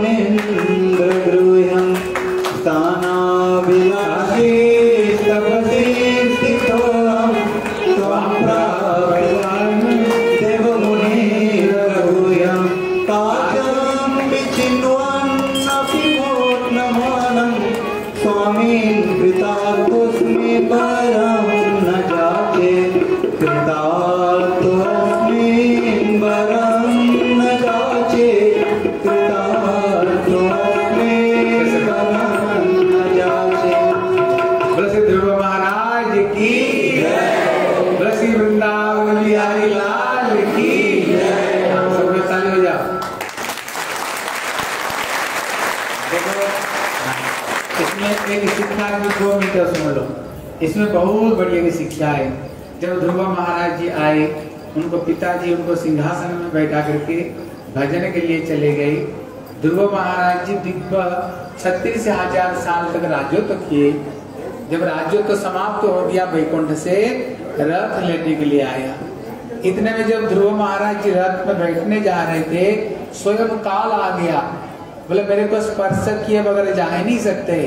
बोले, तुम कौन हो? बोले, मैं स्वयं काल हो। बोले, बैठ जाओ देखो, भक्तों में कितनी शक्ति है। सारा दुनिया काल को डरता है, लेकिन काल भक्तों को डरता है। ध्रुव महाराज ने क्या किया? ध्रुव महाराज जी के तो शरीर में काल के सर को ऊपर प्यार रख करके उन्होंने वैकुंठ विजय किया। सशरीर में वैकुंठ गए। उनको शरीर छोड़ना नहीं पड़ा। इतने भक्ति में शक्ति। लेकिन जब वैकुंठ जा रहे थे, इतने में इतने में ध्रुव महाराज की माँ की याद है। बोले, मेरे मैया कहाँ गई? विष्णु दूतों को बोले, मेरे मैया कहाँ है? बोले, मैया को भी याद कर रहे हो? देखो माता ने ध्यान देकर सुना। बोले, आज जो मेरे को ठाकुर जी मिले, किसकी कृपा से? बोले, माता जी की कृपा से। मैया ने मेरे को बोली, बेटा, भगवान की गोद में बैठो। उनकी गोद में बैठोगे तो कभी उतरने का ज़रूरत नहीं। इसलिए माँ की कृपा से आज मेरे को ठाकुर मिले। इसलिए माँ को लिए बगैर मैं बैकुंठ नहीं जाऊँगा। इतने में विष्णु दूत ने कहा, जो ऐसे जो माँ है, जो बच्चे को भक्ति की शिक्षा दे देख तेरे माँ पहले बैकुंठ जा रही है। कौन जा रही है? तेरी माँ पहले बैकुंठ जा रही है। पिला रहेंगे। और भैया लोग, कम से कम सफ़ेद सूट सलवार पहन करके सूट का सलवार नहीं, कुर्ता पैजामा पहन करके आना। अब देखो इधर सुना कि जो कथा में जो आप रोज रोज जो प्रसाद पाते हो राहुल को भैया इधर आ जाओ कहाँ गए क्या नाम हाँ इधर आ जाओ प्रभु जी इधर आओ इधर आओ हाँ ये जो कथा में जो प्रसाद की जो व्यवस्था है कुछ कुछ भक्त लोग प्रसाद की व्यवस्था देते हैं कहते भागवत कथा में जो एक अन्न का दाना देना किसी जीवन में अन्न वस्त्र की कभी अभाव नहीं पड़ेगा क्यों जगन्नाथ को भोग लगता है अरे भक्तों का मुँह में भी जाता है। इसलिए जो दो तारीख में जिन्होंने आपके लिए प्रसाद की व्यवस्था की थी, इनका नाम था श्री राहुल वर्मा जी और अनंत चौधरी और श्री नरेश अग्रवाल और अनिल गर्ग शर्मा जी। अब इनके जोरदार ताली हो जाए दो तारीख में प्रसाद दिया। जो तीन तारीख को जिसने प्रसाद दिया है, कहते इनका नाम है एस है। एस के बेदी एस के बेदी ने कल उन्होंने प्रसाद दिया था।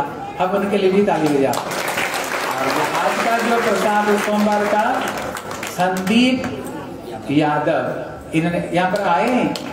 है है यहाँ पर? नहीं है ना? ठाकुर जी इनको खूब देख, और ये भी ठाकुर जी की खूब सेवा करे। ठीक है? वृंदावन बिहारी, लाल की अभी प्रभु जी आप जगन्नाथ जी को आरती करो। प्रभु जी आपको एक सुंदर भजन सुनाएँगे। नाचने वाले भजन, सबके सब बार खड़े हो जाओ। खड़े होकर के ठाकुर जी दरबार में सब नाच लो भैया भैया